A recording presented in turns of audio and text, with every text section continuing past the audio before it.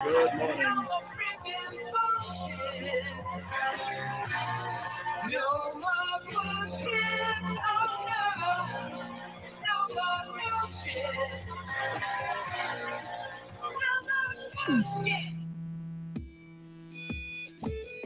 Live on a Friday morning, cliffcentral.com. Here's um, Mbulelo, here's me, here's Ben Karpinski. Yes, Ben, who had a birthday yesterday. Uh, he's still wearing the glasses from his eye operation. But I saw yesterday when I when I saw Ben for his birthday in the afternoon, you can actually uncover your eyes and they're not as painful, right? Much better. Gareth. Yeah, doing so much better. I'm, I'm on the lighter tint of glasses, as you can notice here. That's just to take the edge off. Um, but also because I, I can't I can't stare at the screen for too long. So having the glasses on now, you don't see my Stevie Wonder eyes going Mhm. to more com- more comfortable places. Where did you get those glasses from? They're horrible. These are great. I wear these for golf. Oh, okay. Yeah. How many how many pairs of sunglasses do you have? Are you like Elton John? You have a whole drawer, a whole room just full of sunglasses? Um, I've got four pairs, but most of them are. I've got like one pair that's like civilian, and the rest are sporting. Okay. Mbulelo, have you got a whole bunch as well? No, just two.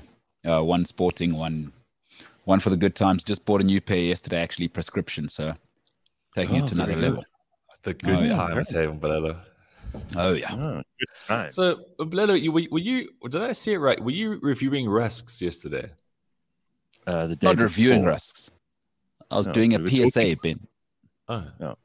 But like, what Hmm. next? Like, what's your favorite breakfast cereal? Like, what's your favorite thing on the Romans pizza menu? Like, Listen, if shitheads are doing shakes, which shakes are the best for getting the biggest glutes? I feel like I'm uh, you know I'm yes. staying true to living in the northern suburbs. no, no, sure. But I mean, a shake is a functional thing that you add to a good diet. A rusk is just a vanity obje- object. Oh, You know, uh, just- okay. Well, you're sick. Uh, a rusk is a must-have in every civilized kitchen on earth. Actually, Ben. So let me stop you right there before you get disrespectful. All right. All right, comfort eater. That's okay. All you have to do is go whenever you see people eating like huge boxes of rusks. Anyway, no, we did have That's me. a rusk discount. I still have to go and buy those ones that um, Mbulelo swears by, but uh, I'll I'll check them out. Maybe over the weekend I'll go and get some. You do a Speaking proper. of, speaking of rusks, debrief. where's where's Leigh-Ann? Yeah, I know. Where is she? What's she up to? You think she? Uh, I hope she. I always wonder that she made it through the night. You know, that's my biggest concern. No, we, we all do, but I also believe that there's someone who lives like on her property or house that just prods her with a stick, but they do it subtly as to not make a big thing about it. 'Cause I don't know how I don't know. I can't imagine Leigh-Ann waking up gracefully because it, it doesn't seem normal. Uh. oh, that's hilarious. All right, so you you turned 4-0 yesterday, Ben. Yeah, I felt good about it too. Normally, like I don't like adult birthdays because I don't like. I don't think there's, there's any achievement in in your being a birthday. Some people go, "Oh, congrats, it's your birthday." It's like I didn't do anything. I just woke up. But yesterday, Yeah. I felt an achievement because it was it was a culmination of a lot of things. And yeah, to get to forty, a lot of people don't get to forty for a lot of reasons. You know, I No, almost didn't get to forty. Some, some guy tried to shoot me. I remember that, but your brother made a speech, um, a very brief speech yesterday. Uh, your, your, you've got two brothers. One of them is the middle one, and you're the last, and then your, your eldest brother was there. And your, Yeah. your middle brother made a speech, and he said, "You know, it's quite something that our parents had four kids, and we've all survived to adulthood." And and I said to him, and I shouted out loud, I was like, "What? This is not the Middle Ages, where like your children get carried away by vultures and harpies, you know." Pretty normal for most people's kids to survive to adulthood these days. We're not living in, you know, starvation or through the. Oh, poor the youngest of your litter was your youngest of your brood was stolen away by wild animals. Oh, and the plague. Oh, and the pestilence. So yeah, you made we, we've got we've got different problems like drunk drivers and Yeah, that's true. and shooting. And, Shooting. and people who shoot guns. Yeah. Oh. So Gareth, that was that was cool. Like I, it was a milestone that Well I, I'm actually I'm happy to kind of get to. Um, it's because like I think you become so much smarter with things in life, which is so nice. I'm not going to get into like a self help speech here, but it's just it's it's cool when when things fall into place and people that you like are still in your life and are still nice to you. People are very nice Well, to me. I, I really mean, actually appreciate that. And you have nice friends and uh, and you you do like your family and you do like your cats and you know you've got a you've got a good life and plus you're in better condition I reckon now at 40 than you were at, at 30 Yeah, well, probably ever because I'm just doing better things, smarter things. Like you can always have better abs, you can have better muscles, but it's what you do with that. I know, like back when I used to live in Cape Town, Mm. um, you know, you'd my my brother and I used to have these stupid fitness challenges from time to time, and everyone thought they looked ripped. And I look back at the photos, like you guys all look like dumbasses. Like, all you're doing, you- you've just got like a little bit of definition and a tan, you think you're heroes. yeah It's yeah yeah more to it than that. I remember I said to someone when I was 37, I was like, I'm entering the prime of my life now, between now and let's say 50, where I'm where I'm, I'm reaching full, best possible value uh, in terms of like if I were pulled off the shelf by some prospective wife or an employer or a business partner or you know just your friends generally around you like i'm i'm about to reach it was actually it was the people I used to work for at 5FM. I was like, we had a lunch and they were talking about, oh, well, when are your plans for the future? These two slobs who ran the station. And um, I remember I said to them, what, what are you talking about? Like, I'm 37 now. I'm about to get into the best years ever. I'm, as a, as a, as a man, this is like prime property. And I'm as happy as can be about that. It's exciting. Oh, hey, Leigh-Ann. Someone prod you with a stick? Yeah. Once it went up the ass, I really went up. so anyway, I said this to them, and they they were they were like, uh, uh?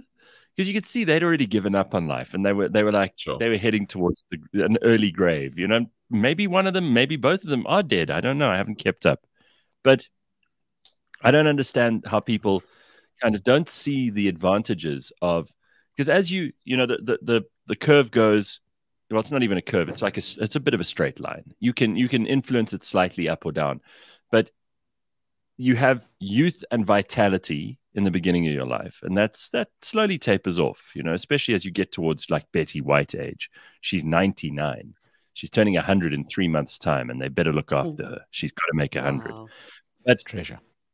on the other side, you get wisdom and gravity and reason and a general understanding of the world. And and like somewhere in the middle, somewhere around 40 and maybe even a little bit older than that, the two overlap at the best possible ratio where you are half and half.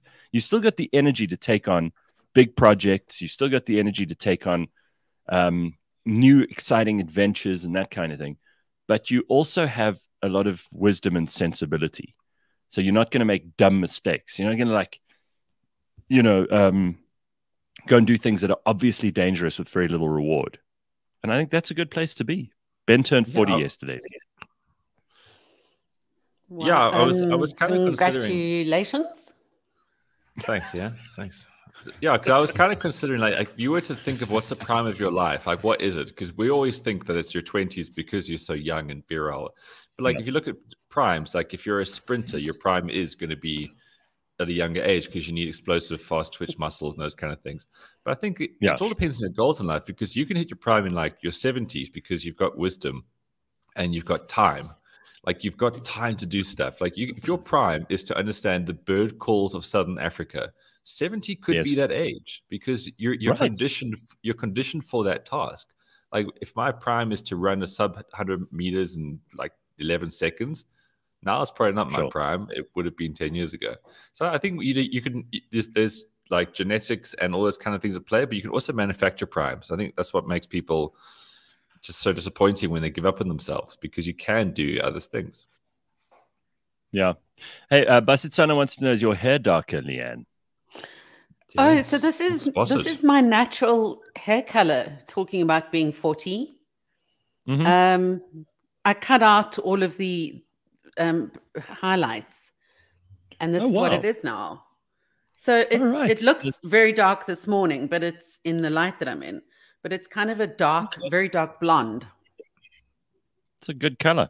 Um, people are picking up on it. Oh, and ten percent gray. Oh, you got some gray in there. Ten percent, Yeah. I asked my Mm. brother for his honest, because you know, you can't really see it yourself. Mm. But I, I, I watch their faces when they look and they go, oh. So the other day, I, so the other day I said, just be honest and tell me what percent. And he went, Oh, yeah? okay, seriously, like 10%. Okay. So, yeah. Well, There we go. listen, he's not gonna he's not gonna lie to you. You two pretty honest with each other.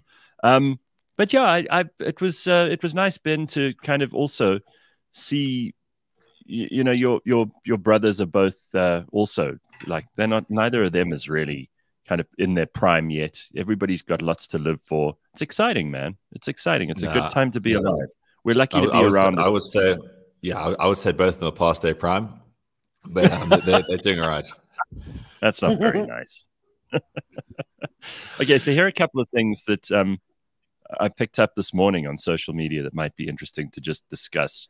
Uh, and if they're boring, we don't have to, but I thought they might be interesting for us to look at. These are from uh, one of the accounts I follow. It's called Psychology Today or something. So here's the one Psychology fact. The more sexually attractive you find someone, the more difficult it becomes to lie to them. You reckon that's true? I, I don't know Mm, because I if think you're it's trying to the get their attention, yeah, yeah, yeah, yeah. That's the opposite. So you, you reckon the more sexually attracted you find you find someone, the more you will lie to them?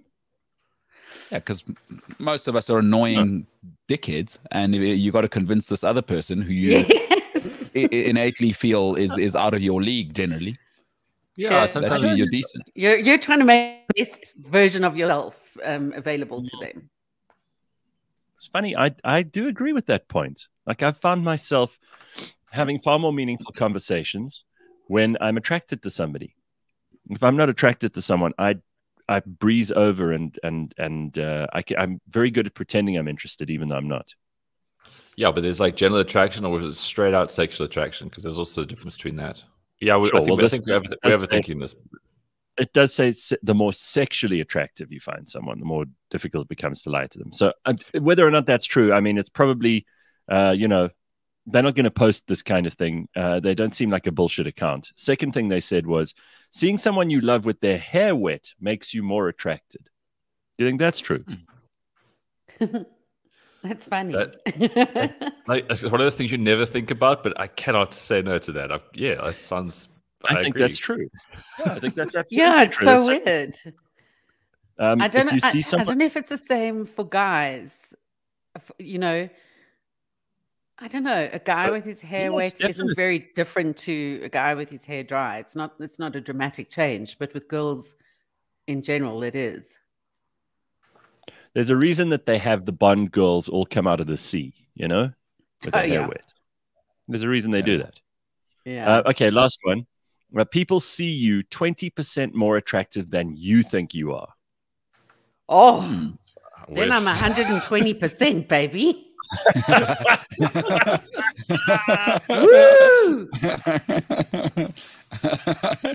I think that's right. I think that's right. I mean, I love it. That'll give me an extra 20% that I didn't know I had.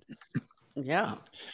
I, I seriously, um, I wouldn't call it a body dysmorphia, and we've been over this a million times. But I do look in the mirror and I do feel like I should be much more attractive than I am, right? I feel like it's some kind of, it's some kind of, um, some, some. I raise my fist to the heavens, like you know, ah, God damn you, I should be better looking, kind of thing. But if that's there is a true, name then, for I'm, it. Then I'll take it. What? Um, no, I don't know what it is, but it'll happen in the future. There'll be a label for that. What, for not liking Oh, how you look in the mirror? Oh yeah, and they'll say, no, it's a- they'll say thinking that you should be more attractive than you are. Well, let's, let's Yeah. make a name for it now. Let's let's call it the Cliffshausen syndrome. There we go. Cliff, Cliffshausen syndrome. I like that because they'll More like medicate Cliff it eventually. Schützen. Yeah, the Cliff Cliff Schützen syndrome. There we go. Because you because it's me and I'm Oh, the shit. Yeah. So uh, yeah, there will be a time. You're right, Leigh-Ann. That's the funny thing is like everything becomes medical these days, right? Um, Mhm. If you wake up and you're in a bad mood, it's like bad mood ditis that you've woken up with this morning.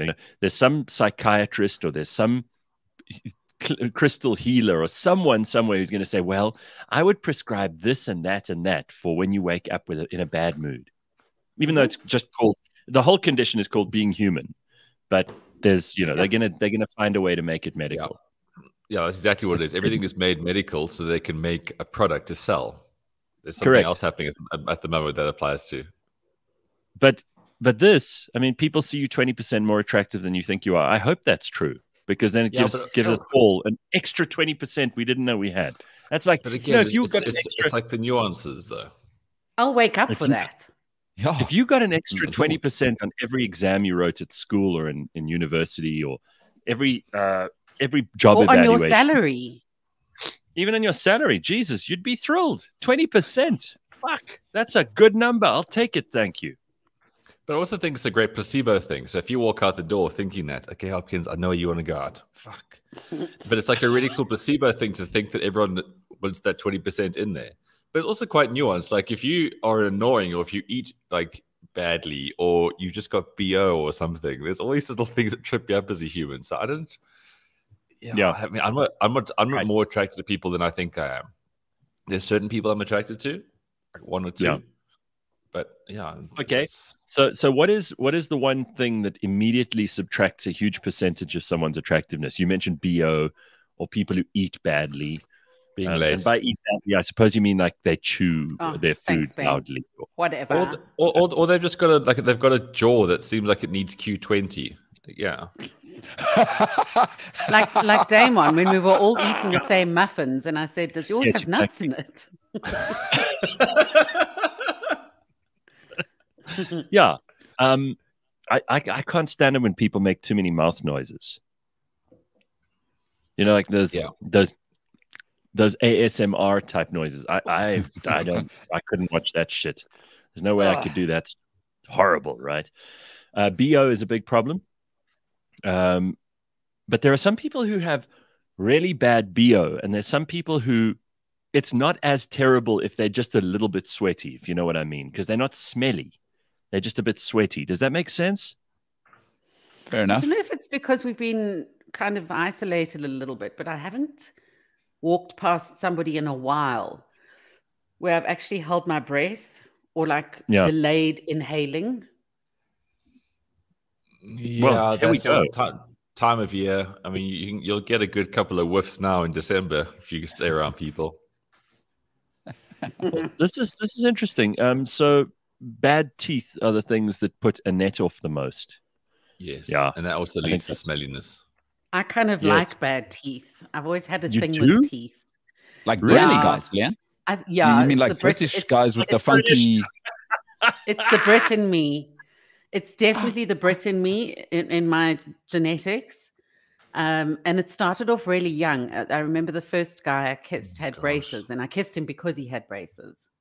What? I- I'm and I love grills. Oh, totally into grills. What? You're into a grill. Into what? You're into a grill. Who That's has grill. like, like Lil Wayne uh, uh, kind of. I've never Ooh. seen someone in, in life with a grill. Wow. Aren't wow, grills, wow. grills like a thing of the past? Do people still get those? No, no. There's a new world now, Gareth. Um, uh, the hip hop game and and the, the new money's changed things. So there's a diamond grill now. Once once they, uh, so, so- some guys get a diamond grill permanently put on because Ugh. they say uh, I want to have all my drinks on ice. So they uh, they Oh, have diamonds in their God's grill. sake. All my drinks on ice. That's what they say. Yeah, I'm all Oh, for that's, that. the most, that's the most common thing I've ever heard in my life. And I've heard common things before. So Yeah. it's Good so for weird. It's- shooting. Wow, that is So, weird, all right. man. Melissa says smoking for me, you can be drop dead gorgeous, but meh. Peter Yep, says it's dirty nails are something that he can't handle. Yeah, that's also a good Ugh. one. Yeah. Uh, here's a funny one. This is from B. B says, I've always been a swimmer, and if a guy swam funny, I was totally put off. That's yeah, like uh, swim badly. That's hilarious. Now, Michael says they can moan during sex, but in between, I don't want to hear it. oh no. Uh, Tracy says lip smacking, chewing gum sounds, that bitter body odor smell.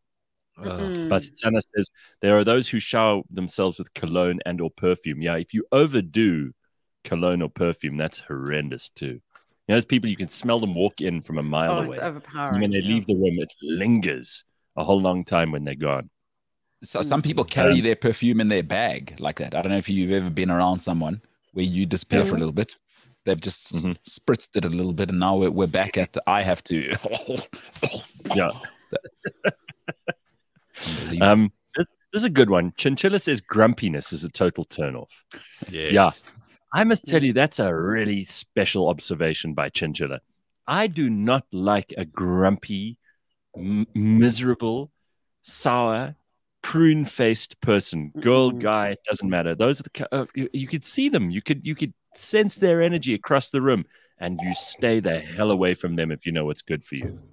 Yeah. You know what the worst, the worst version of grumpy is. So uh, in my case, it would be when your friend's girlfriend is the wet blanket, because now you can't say anything, and you really want to hang out with your mate, but now No. she's gonna Oh, be there, yeah. and and Mhm. everything's terrible when she's there. Ugh. Oh, that's horrible. Everything. Ugly or dirty feet. Dirty feet. That's bad, right? Dirty Gale feet. Force, Oh, dirty feet. That's horrendous. yeah. Someone that's who just a, fuck- s- a sign of not caring. Someone who farts while you're confessing your passion for them is a bit of a turnoff. I'd say. That's very specific, Michael. That's a very specific issue you got there. I, I would. I personally find that hilarious. That's something that happened to Michael. Clearly, I mean, he, he he's got personal experience of it. There's no way that that just you know popped into his head. That's something that's actually happened. Do you see what Patrick says? Patrick says, "I can't stand the smell of chloroform. It puts me to sleep." um, Carl, Carl says, "I'm the most grumpy cunt I know, and my wife is gorgeous. Also, tiny penis and not much money. So that's not the reason she's with me. Weird, right? I mean, that's She's quite a like, no. Off away. Okay, "Oh, Um, yeah. What you? What do you have going for you? sure. I mean, Carl, that's yeah. You, you're not exactly doing a good selling job here. Trying to figure that out. I tossed a Ben, car's please air let Meowser out. It's Hopkins. He runs away. I've got to supervise him, but he's Okay. he's Oh. doing uh, extra edgy. You know, he, I He's let like him out. your- He's like your special needs cat. No, he's very cool. But I, I, I had a collar, and, and the agreement was if you wear your collar, you can go outside because then at least if you do run away, no one thinks you're feral. And then the, the little fucking dipshit comes back, no collar, dirty feet, but he was purring, so maybe he got his leg over. I don't know if he leg overs though, because he had his stuff chopped off. I'm sure that they still do. You know, it's like those eunuchs in the um, in the imperial palace in in China. Even if they didn't uh, have sex because they'd had their bollocks chopped off, those eunuchs were still hugely uh, manipulative and Machiavellian, and they would always get involved in intrigues and things and try to, uh, you know, make things work out their way. So they became crafty in other ways. It wasn't always about just sex. I sometimes wonder, and this is kind of related to something Ben brought up the other day. I'd love to be I in want- your head for one day. Me, I mean, what analogy have you just drawn? well, you know, so Ben just spoke about his cat having his, eunuchs. his bollocks I, cut I off. know, Yeah. but it's a, it's a, it's fa- it's fascinating. Yeah. So uh, you- again, this leads me to this conclusion. So Ben was talking the other day about zero masturbation and how that's probably good for you, or rather, no porn. Um, the the th- there's got to be a part of you that wonders sometimes if you could cut out all sexual attraction. Like, let's say you were just a, an automaton who was not sexually interested in another human being. Imagine all that energy that you spend trying to get laid, or certainly that you spent in your 20s and 30s, maybe trying to get laid. And that's all that you did, right? You were just basically chasing sex the whole time. If you think about how you could have maybe channeled that energy into something more productive, how much happier or more successful you might be. But at the same time, it's it's such an important part of life that you might have missed Yeah, out on it's a- things. It's important to chase sex because it makes you understand what failure is. But yeah, if you, if you like the saying goes, you know, you put Oh, someone boy. to task. When you put Oh, someone boy. to task and they and they have a purpose, then yeah, you can achieve so many different things. I look at Hopkins. He he just wants to go outside because he wants to run around. And I'm Mhm. at this kind of quandary now, which is a horrible, boring conclusion to where my part in the show today. But you know, testosterone keeps you young and keeps you healthy. He's got no balls. So how does he get his testosterone? It's from going out and like killing birds and lizards. So unless I, I let allow him to be wild, he'll live Yeah. less. But if I let him out, he might run across the road and get ridden over by a truck. So it's a real No, well, that's the whole catch-22 there. thing. Outdoor cats um, their average lifespan is six years. Um, all of my cats are like outdoor. They- 14, 15. Well, that's the thing. But because of outdoor- accidents an and cat. being run over and you know being killed by a, a dog or a car, that their their lifespan is about six years. So he's doing well. Well, Hi- Heinz says Ben looks like a motorbike speed cop with those glasses. Yeah. Uh, ben, I, Ben, I am struggling to take you seriously with those glasses on. It's it's That's it's really fine with Valetta because it's, I'm it's unbelievable. okay for, for 30 seconds. I'll There, do that. Oh, there- Oh, oh, there's the so bad. there's the Oh, thirst trap. There's the 40 year old thirst trap we we know and love. All right, Basitsana says, speaking of sex, at what age do men stop feeling horny? I have a 70 year old who's trying to get up in my business. Yes, that's They Basitsana. don't I don't stop. They don't stop. If you if you could wank off a guy on his deathbed, he'd still be happy. They don't stop. My gran phoned my mom the once and Oh said, my God. "Thank God it's finally over." And I think he was 89. Oh, really? He was, What? he'd stopped trying to hump her. Yeah. Jesus. But that's exactly what happens in old age homes, apparently, because they got no inhibitions at all. They just they're like there's not even any talk. You, you- they just start humping each other. Mm. Ew. Yeah. Yeah, old age homes are apparently like really, there's a lot of undercurrent there that we don't see when we go and visit our old people there. And I mean, I don't go because all my grandparents did me the favor of being dead. But if I if I did have old people in my life, I'd have to go and visit them at the old age home.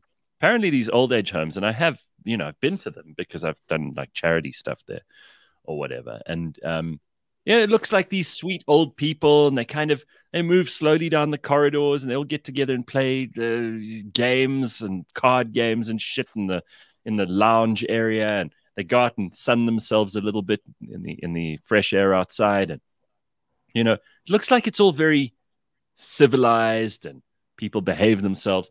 Apparently, though, old age homes are dens of iniquity. There are things hmm. going on in old age homes that you cannot imagine. There, there's certain old men who are like scoring three of the old ladies at once. There's certain old ladies who leave their doors open and unlocked on purpose because they want one of the old men to walk in. Oh my There are lord. old, there are old men hitting on the nurses. Oh yeah, yeah, it's a whole thing. This is what But this is what someone also- works in. drugs are a thing as well. You know, we in our in Yes. our youth, we're so scared of becoming addicted and ruining our lives. And when you get older, it's like Uh, just bring, bring it, it on. on. I, I, I think that that's actually not a bad way to go. Like if you're in an old age home, wouldn't you rather be high as a kite? Yeah, and pumping Constantly. Gladys daily. Yeah. Yeah, hundred You hear you hear a feeble knock at the door. Yeah. Like the last couple of breaths of air she got for that. Gavin, Hello, I'm hello, I'm here at the door. Okay, Glad, come in. Gladys wheels That's such a horrible- Stephen. It's such a horrible thing thinking about old people have sex. Like I often don't think about other people having sex. So I think it's weird, but old people, it's like Old people. it's like yeah. they're not made for it anymore. Like your your privates become so. Mm. Mm. I've seen tortoises having sex, and I imagine it's like that. It's like using cling form like from like seven Oh times. You know, God. there's like old pieces of lunch, and you're trying to just do it again. And it's just. ugh. Oh. Anyway, guys, I've, I've got I've got to go. I've, Hopkins is showing his arsehole to the screen. He's knocking things off Yeah, tables now. messy. No, I agree. It's getting very He's like messy. a All right. baboon at Cape Thanks, Point Ben. right now. All right, Cheers, guys, have Ben. a great day. Speak to. Bye bye. There's Ciao. Ben. Bye. Pops in on a Friday, uh, upsets the apple cart, and then leaves. Um, we've got some interesting people joining us this morning. Uh, still to come, we have. I don't know if you remember Jenna Berkowitz, who we had on the other day. She, uh, she's a, a, a social media person. She's like a TikToker, and she does these videos, and she's, um, she's growing a following. But she makes her mother a part of her stuff inadvertently. Her mother hates being in these videos. She doesn't understand social media. And we've managed to track down the mom. I'm going to ask her what oh, it's like to have, yeah, to have someone from, uh, you know, her daughter's generation basically tormenting her and putting her on social media against her will and just find out what that feels like for a mom because she has no choice by the looks of things. She just gets pulled into these videos and and Jenna just makes her mum uh, like a cameo appearance every couple of weeks on her on her social media. She hates it, so we've got to ask her about that. There, there's a mom and daughter um, duo in America, and I'm guessing they're Middle America from their accents. Um, but the same thing. This mom is very, very grumpy, Yeah. and uh, her name is Kerry. I can't remember. I'll find it. But um, they they've become so popular that now they're doing. She she's dragged her mom on this like road trip, um, where they're doing a meet word. and greet on the 10th of December. And um, it's see, the build up to that at the moment, where they they're getting face masks on and getting ready. But um, people have mugs and things and paraphernalia with the mom's face on it now. It's unbelievable. Um, just talking about the old age home. And by the way, the other person joining us later is Rich Mulholland, who we haven't had Oh, on the show for a long time. Yeah, Rich has got a new. Here it is. This is Rich's new book. It's called Here Be Dragons. And he just uh, released it recently, and we decided we'd find another excuse to talk to him, and he can tell us a little bit about his book. Um, interesting stuff. My grandpa, says Robin, uh, drank cane and water with his girlfriend at the old age home, and they broke the bed. Good lord. That's what I'm talking about. Yeah, you see that? That is scary. Um, and, and then a lot of people talking about STDs are rife in old age homes. Did you know that? Oh wow. No, Oh no! but it makes You sense. see- I mean, if they if they're pumping each other left, right, and center like frogs, then Mm. good for them, man. No, it's- We're like, what are we gonna do? Stop her? Biasen is for old. saying at the, at the old age home, bring on the morphine and the Viagra. Can you imagine? Well, at least we've all got something to look forward to.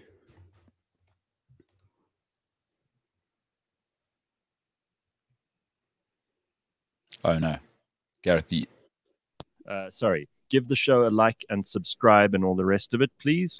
Uh, Ruth just reminding us that we have to do that because otherwise I, I always forget and then we get into trouble. And, you know, they made this little graphic here where you have to like and subscribe. There it is in the corner and blah, blah, blah. So do all that shit, please, so that we don't have to keep asking you to do it. It's so annoying. And I don't want to be one of those YouTube people who does that.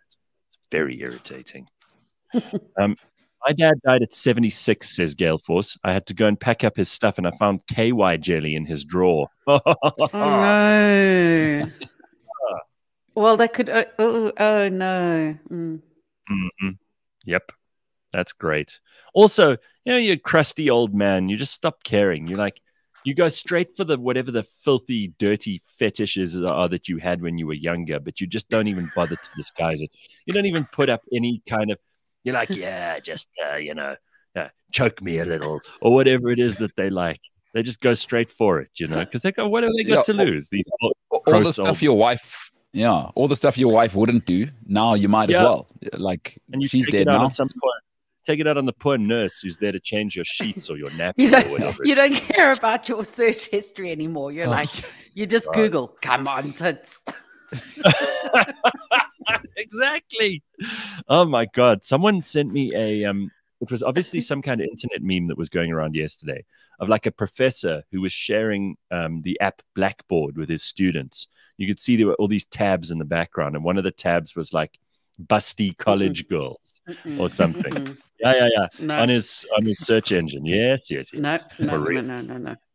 Oh, My wow. grandpa had a thing for getting married, says dude 69. This old geezer got married five times. I just thought he was an old horn dog. Well, yeah, he probably was. No, Oh no. right. That is exactly right. Uh, some old men take the blue pill not to roll off the bed. oh my God, that's funny. VB says without KY jelly, an old age home will be a dust storm.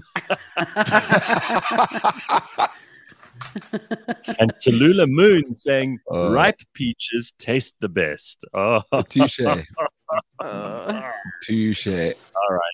well, we've got uh, George Mienie, Rich Mulholland, Elana, who's Jenna Berkowitz's mom, and a whole lot of other stuff for you. Let's do a couple of headlines quickly to see what's going on in the world. Um, where shall we begin? Let's start off with uh, this story. Disney has appointed a woman as the chair for the first time in 98 year history. Do you care about this? Does it matter to you that someone of a specific sex is now in charge of the board of Disney? Does it matter? No, it's just a, it's just a PR. It's an excuse for PR to Right, get you exactly. going again So in the headlines. Shall we not fall for it? Because I'm not going to tell you that story. I don't actually give a shit what the gender of the person who runs Disney is. Disney's a really, really insidious company that's constantly trying to make vast amounts of money out of children. I don't care whether the person at the top of it is a man or a woman. They're probably not a nice person, and that's enough for me. so let's leave that on. Okay, that was easy. Jesus, I mean, what? It, it's a headline though. It's a big, big news story all over the world. And watch people. You see all these activists suddenly. They'll be going, "Oh, it's so great that Disney's finally appointed a woman," and it changes. You sound like Nothing. Minnie Mouse, ironically. That's exactly right.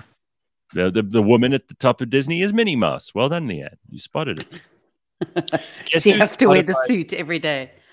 you know people are sharing all their um their spotify like charts and we've come up Yeah. on on loads of people's i shared a few of them yesterday i didn't want to like drown everybody on instagram out but it, it was really great uh, uh, lots of our big fans sending me screenshots of their um, spotify charts and how they've been loyal listeners all year and thank you for that that's fantastic it's really really cool it's the reason we do this but um, guess who the most streamed artist of last year was Drake. no Leigh-Ann do you want to have a Kanye. go I don't know. Any guesses? Okay, I don't know if you're going to get this. Let me put up a picture of this person and let's see if that helps at all. Because um, I wouldn't be surprised if nobody gets this. I mean, I'm obviously so out of the loop. Do you know who this guy is? Because this is the most streamed artist of this year. And um, if you're not if you're not watching and you're listening, I'll, I'll try and describe him to you. He's got like terrible glasses on. He looks like someone whose parents took a lot of drugs when they were making him and he's got very uh, untidy unkempt hair that's almost arranged like a tricorn hat on his head Gareth, you sound very old right now. i know but i i mean what else am i meant to say i mean how, Who would you is it? describe I have no idea. You I have no idea. you idea. try and describe that guy his name is Bad He, he looks Bunny. like, yeah, you know what he looks like? He looks like if Krusty the Clown was a trust fund kid. yes y- You know, Right. Like right that's what he looks like. Bad Bunny. So Bad Bunny is Bad the name Bunny. Spotify. All right. A streamed artist of last year. He's 27 years old. He's been the host of big name artists, including the likes of Taylor Swift, BTS, and Drake, uh, to the crown with more than 9 billion streams from last year. Looking ahead, he said, I hope 22 is going to be great. Yeah, it will be, he said. Um, apparently, I actually hate second... that I'm not in the loop anymore. yeah, I don't. I don't feel bad at all. Um, the top five list was rounded out by uh, Drake, whom Mbulelo guessed in fourth, Justin Bieber in fifth, um, and then they've also got uh, Taylor Swift in there uh, and Mhm. BTS. Is Mm. BTS that Korean band? Yes, yes. Yes, the Korean boy band. Oh yeah, yeah. You see now that that I know nothing about, so I'm not even going to go down that road. Uh, elsewhere, Olive, Olivia Rodrigo's "Driver's License" has been named the most streamed song. Um, Montero's "Call Me by Your Name," Little Nas X, "Stay by the Kid." Uh, Olivia's "Good for You" was the fourth most streamed song of the year, ahead of Dua Lipa's "Levitating." So I'm just this is obviously where I separate out because I've always been more or less on on you know, on a roll with the music. I could figure out what was going on. I was paying attention to what was new, what was cool, what was happening. You were well, I- we were forced to. Yes, but now I've fallen off. Finally, I've fallen off the reserve. You know, I, and and I don't mind that after decades of having to be in the loop. It's kind of a relief not to, but I, I do kind of Yeah. feel I just get a bit scared by it. It's like when it's so moms, moms go through this phase. They go through this phase where if their kid is not a teenager yet, so somewhere between zero and 12, Yeah. um, they're completely out of the loop until their Yeah. teenager brings them back into the loop. Um, and I always feel like I'm going to be one of those moms that doesn't know what's going on, and I, I hate that. But but on this point, I, I think I'm gonna have to start watching movies and stuff again because I work with. Uh, so in my team, there is uh, on the MKT show, there's 25 year olds and they talk about movies and movie stars and a new Spider Man Mm. coming out. And I just realized I'm starting to sound like my parents. And it's always been a nightmare it. to say, like, I don't want to be that person at 45 Yeah. Who, oh, movies were better in my day. Like, what happened Yeah. to real music? And then you start to sound like that. And who, who wants to be that person, you know? It's- Absolutely. so I I'm gonna start watching movies now. I'm I'm gonna go watch that that car crash of a film that called The Eternals soon. I'm gonna. It looks absolutely awful, but Apparently, I think it to, to- bullshit. it, oh, it, the trailer tells me everything I need to know. But got to be in the loop. that's it. I think I would rather watch these things and be grumpy and old about them than not know about them at all and just be ignorant. I hate ignorance. That's me right now. I'm ignorant right now. I'm not even going to try. I'm. I, I, I've. I've moved to. I've moved to a stage in my life now where I'm not even going to try and watch your stupid movies or listen to like Little Nas X. I could. You're just less. googling "come on tits" without without any cares in the world. Just KY jelly in your drawer. Just Gross. My son says Jim is 12. His world of media music is another planet. I force myself to keep up so I can try and relate. Yeah, you have to. As a parent, I think you have to. You A can't lot of just people commenting- everything. A lot of people commenting on the dude who uh, who was the most streamed artist of 2021. Uh, Silicide saying, "Isn't that Elmo the puppet druggy cousin?" Um, Michael says, "Where was he brought up? Chernobyl." Tracy says he's the bastard child of Lenny Kravitz at his worst and a woke Bond villain. Oh, people are creative. People are very creative this morning. Um, what the shit is happening there with his entire head? It looks like a lawnmower drove over his head, says Nico. His entire head. ah, and people are saying to me that Britney Spears is losing it. You know, we predicted this last week. Oh, we shocker. said now that she hasn't, Now Oh that she hasn't got a no, you're kidding. starting. Yeah, yeah, yeah. People are sending me um, videos of Oh, Britney. Spears losing No, her mind and doing stupid shit already. Mute yourself. no, I'm, I'm genuinely, Leigh-Ann. I don't know what you're talking about. I'm genuinely taken aback. I can't believe Britney with access to money All right. is I- a complete nutcase. I don't want to. I don't want to waste time talking about Britney. So we we had uh, Jenna Berkowitz on the other day, and she was terrific, and she was really really funny. But she does this thing where she involves her mother in her social media videos and things. And her mom, I don't know if her mom even wants to be in these things. You know, we talk about how we're not keeping up with music or movies or any of that stuff, but you know, it's a, another thing entirely where I don't know how many parents know about TikTok. And I don't know how maybe they should know about TikTok, but who am I to tell them what to do? Imagine being incorporated into like your your daughter's stuff, whether whether you like it or not. I've seen a couple of these videos with Jenna's mom where she's she's like driving somewhere, and then she'll just turn the camera on her mom, and this poor woman is like, "What? You know what's going on here? I'm, I'm trying to get on with my day. Why are you involving me in this nonsense?" So watch this quickly, and you get an idea of what I mean. Then we'll talk to Hello, Elana. How are you? Good and you? Good. What you doing? Just, just working, you know. Uh, okay, nice. What's up? Mom, Mm. I need you to do me a favor. What favor? I need you to go to the bottle store for me and get alcohol. Are you mad? For what? For me. But for what? For me, I'm just having a few friends. Maybe. Uh, to get what? Tell me what. So, okay, so listen. So, I need four bottles of tequila and two bottles of vodka. Are you mad, Jenna? No.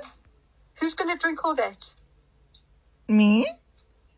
No, it's not going to happen. Sorry. Okay, no, Mom, it is. But just listen. If you do go, I need you because there's different types of tequila. So I need you to What do you mean buy. different types? There's different hmm? types of tequila, but I need you to buy the one that's in a square. I need you to buy. It's it's called it's called Don Julio. It's the What cheap. It's an it's a tequila, but it's the cheapest one. How much is it? I don't know. It's it's cheap. It's the cheapest one. For when? Just whenever you go to the bottle store. Uh, are you serious now? No, I mean dead serious. Yeah. I would go, but I'm working. WhatsApp me the name of it. Okay. And then the vodka, there's also different types of vodka, but you can get like the tall one. It's called Ciroc. Okay, what can you message me so I Oh, know well. the names? I'll send you pics. How much are they? I'm not sure. Very cheap. Okay. Okay, I But it will you. only be probably tomorrow. Okay, that's fine. All right. Okay, love you. Okay, love you. Okay, love you. Bye. Love you. Bye. Oh, where are you? I'm at the bottle store. Anna, listen, I'm not going to carry on playing.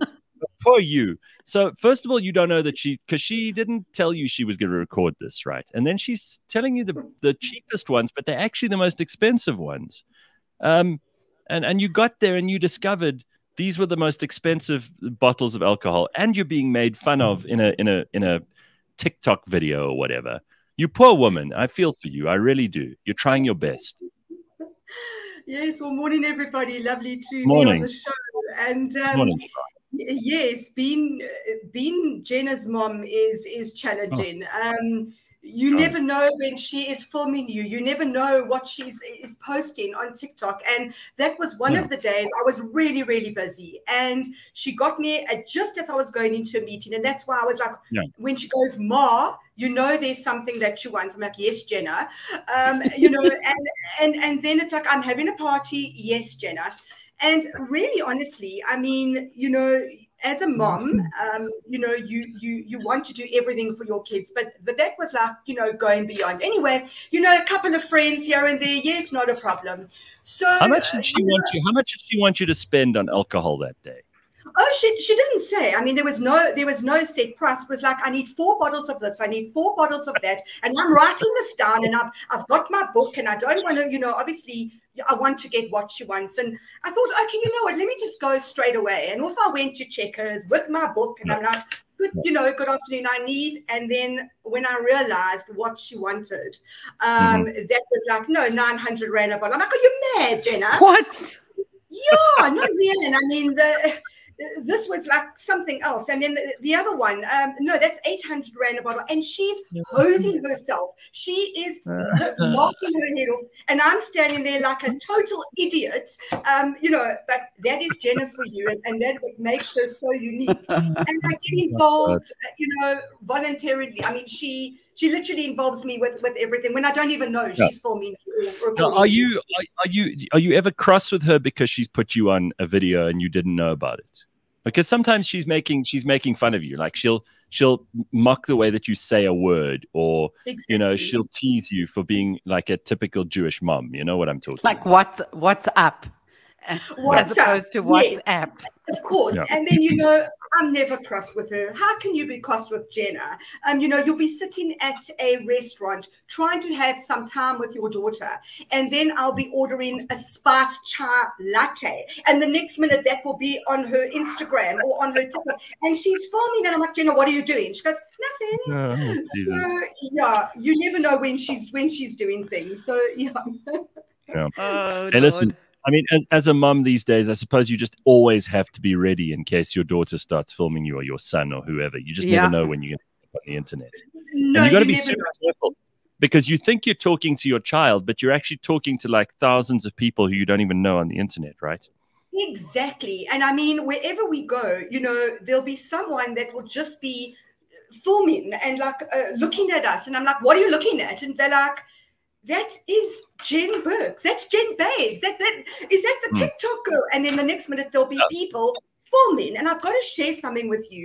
I was filling up my car and I went into the petrol station and I was just about to pay. And the next minute I see these two young girls literally staring at me with their cameras. I'm like, what is wrong with these people? Are they mad as well? I'm like, what's going on? And the next minute they come up to me and they're like, we want a selfie with you. You are Jenna Babes, mom. We've seen you all over. I'm like, there we go. So yes, Yeah. as you say, I you. never know where Listen. I am with you. I mean, uh, let's not just talk about how you know you and your daughter interact with each other. I believe you're actually a really good aqua class teacher as well. Dory, who works with us, told us this. Is that true? What else That do you do? true. Yes, I actually work for Virgin Active, um, and I, I teach. I teach aqua, and that's another thing. I was busy teaching, and the next minute, these girls are, are, are swimming up to me, sort of, "Hello, how are you? Um, can we ask you a question?" I'm like, "Yes, with pleasure." Are you Jenna Burke's mom, Jenna Babes from? I'm like, How do you know? Oh, we've seen you. We know your nails. Can we see your nails? They're all full of glitter because that's what Jenna posts. Oh my god! You've and you're raised just a trying to run your- monster. no, you're trying to you're trying to run your aqua class. Look at this, unbelievable. Exactly. I'm trying to work, Gareth, and there comes Jenna, you know. So yeah, it's it's it's always and but I must tell you, I'm really proud of her. Um, I'm proud of, of both my kids, and it's just you never know where you are with her, you know. So I mean, I even said to her at, at certain times, like, "It's irresponsible, Jenna, what you're doing," and she's like, Yeah. "No, it's not, mom." Yeah. do you do you feel like there's pressure? I mean, I don't know if you follow her on social media or not, because a lot of parents, like if my parents were on, and they they're much older than you, but if my parents were on Facebook or on Instagram or anything, I would be so annoyed with them. I, I don't want them involved in any of that stuff because they wouldn't understand it. They wouldn't get the jokes. They wouldn't know what I was talking about. It would be very hard for me to explain it to, to them. And you know, it's better that they're not on there, frankly. I mean, I'll, if I need to talk to them, I'll talk to them in person. And if I they need to talk you. to me, they'll talk to me in person. Do you follow her? I mean, do you are you actually on all of these apps that you watch her videos and things? Do you know what's going Oh. on, or are you completely oblivious? Oh no, I'm absolutely involved. I'm hundred percent. I follow her exactly where she is. So I'm on all those social platforms, Facebook, the lot. So uh, whenever there's a video, Nice. I, I get it, so I can see where I am. Oh, I mean, I didn't sign up for this, right? I didn't sign up for it. So of No. course, I want to see what she's doing. you know, there used to there used to be a time where if we wanted to film someone for a TV show, you used to have to get them to sign a release. They'd have to sign a form that said they've given permission to appear in whatever Otherwise, it is you'd have that to blur them out. Yeah, Exactly. and and she, she doesn't ask you now, that. know? Exactly. She The didn't ask my permission. yeah. You should now. You should throw the puppy act in her face the next time she starts filming you and say to her, "Hey, let's look at this. You can't just put me on camera. Who the hell do you think you are?" Exactly, just just posting to the whole world. I mean, I'm busy driving on a busy highway, and there she's flicking my hair and putting all these, you know, things, and I'm like, no, Jenna. So How do yeah, you all- it- it- How do your friends feel about this? Um, do they talk to you about it? Because obviously their children will be telling them as well.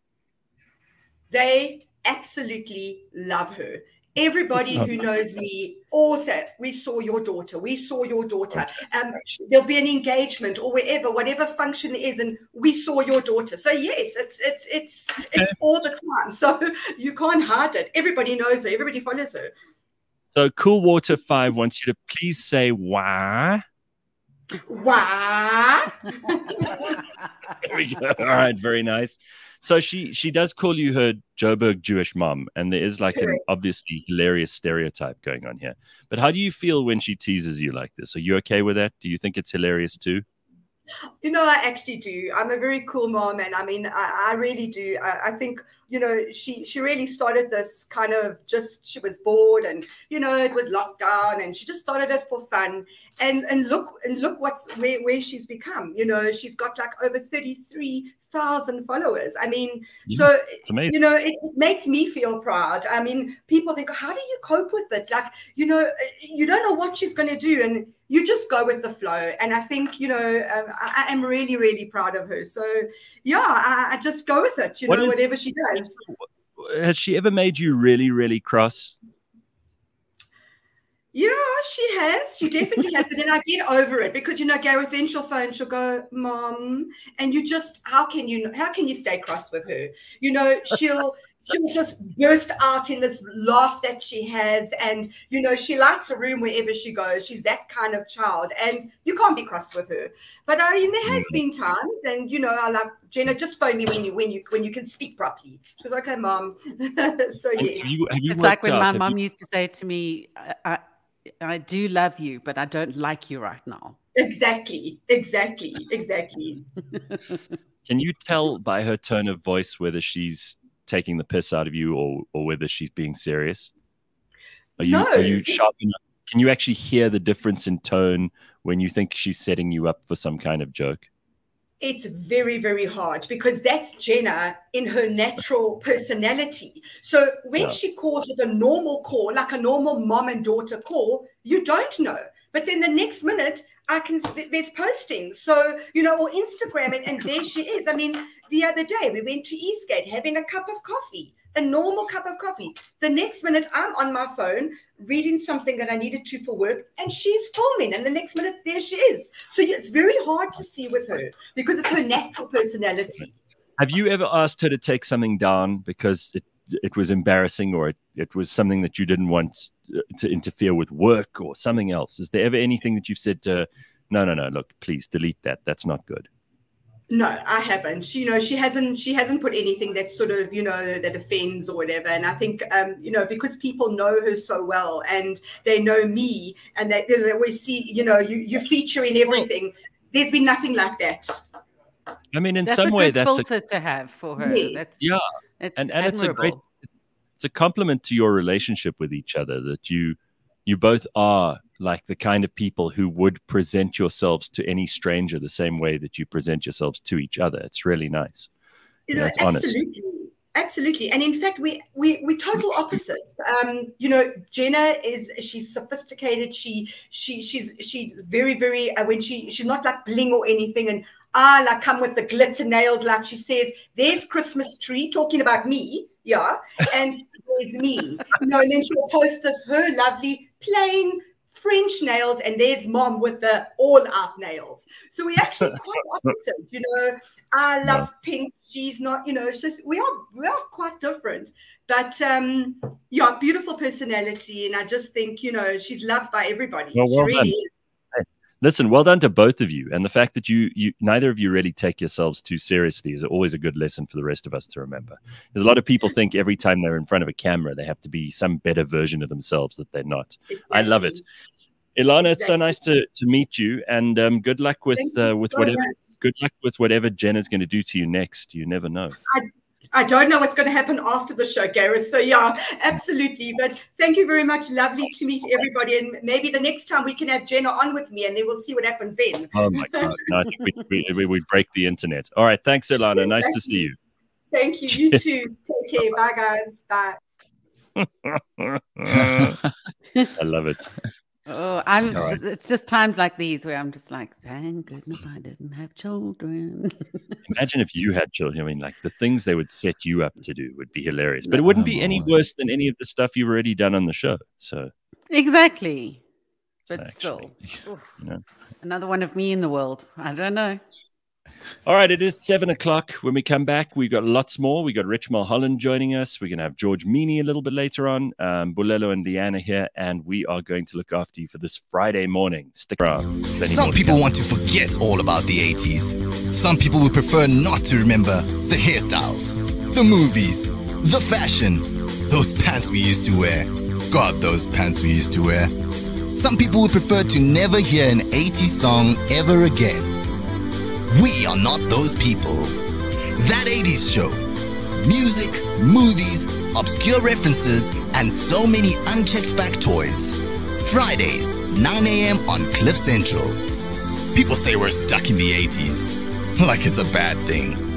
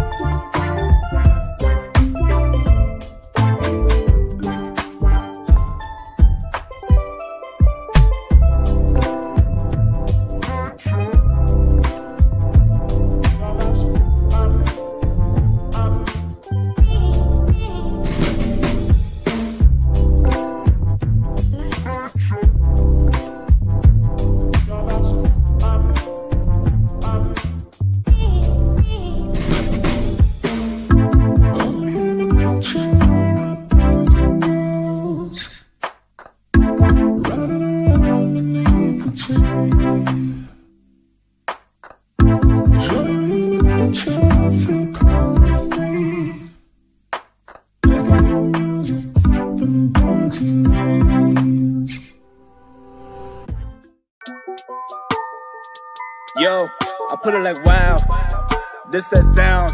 These oaks don't work hard like me. I hope they know by now.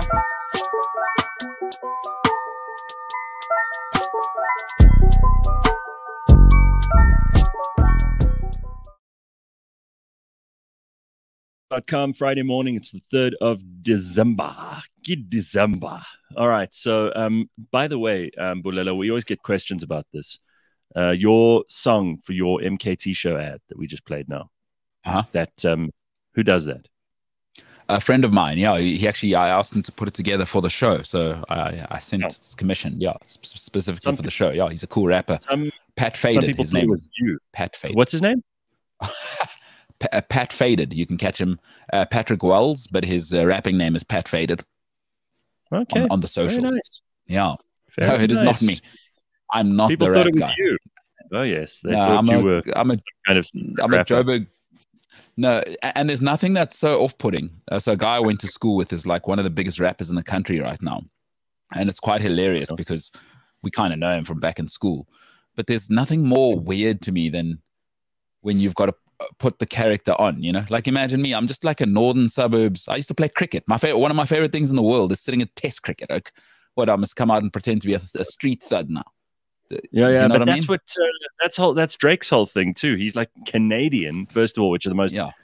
milk toast people on earth.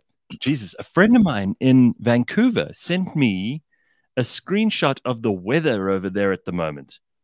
This is Oh, just yeah. unbelievable. It's it is so rainy. Uh, let me just find this for you quickly. Uh, this is this is the November, just November rainfall total for Vancouver Airport, 312 millimeters. Uh, University of Victoria, 286.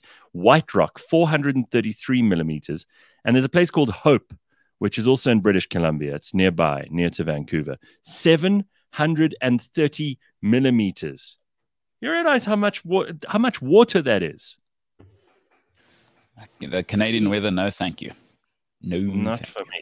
Beautiful Anyway, country, so- but the weather. So, so, so, so Drake Drake is also one of those guys. He's like, uh, you know, he raps and he seems like he's this hardcore dude, but actually he like grew up in this middle class family and like the also suburbs half Jewish, interestingly. and half Jewish. Exactly. I think uh, I think Jenna's mom. for goodness I think Jenna's mom Elana is actually his aunt. his bu- what's what's it? His bubby or what, what's uh, No, his bubby no, no, no. grandma? No, um, so Boba is the grandfather, and uh, no, sorry, Zayda is the grandfather. Boba's the grandmother.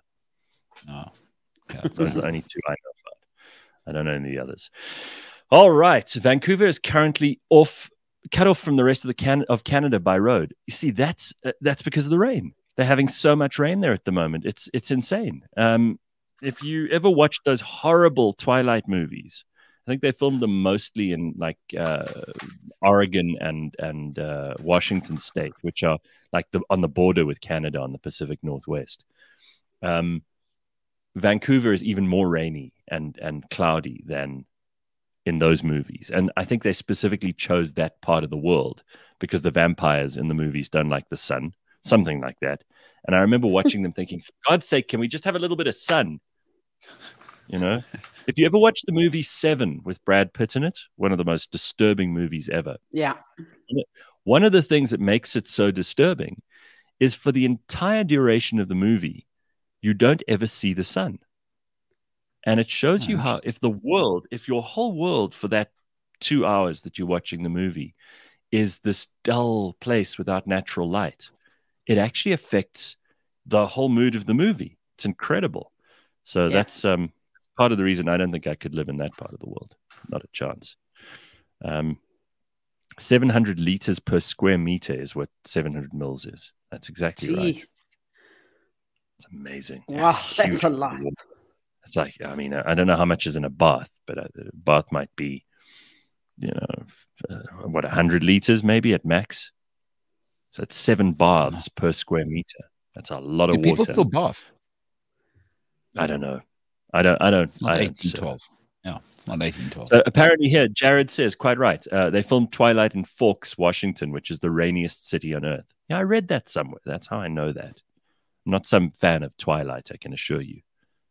Jesus, I, I don't. I, I still. Yeah, let's I can't just get that I actually- straight.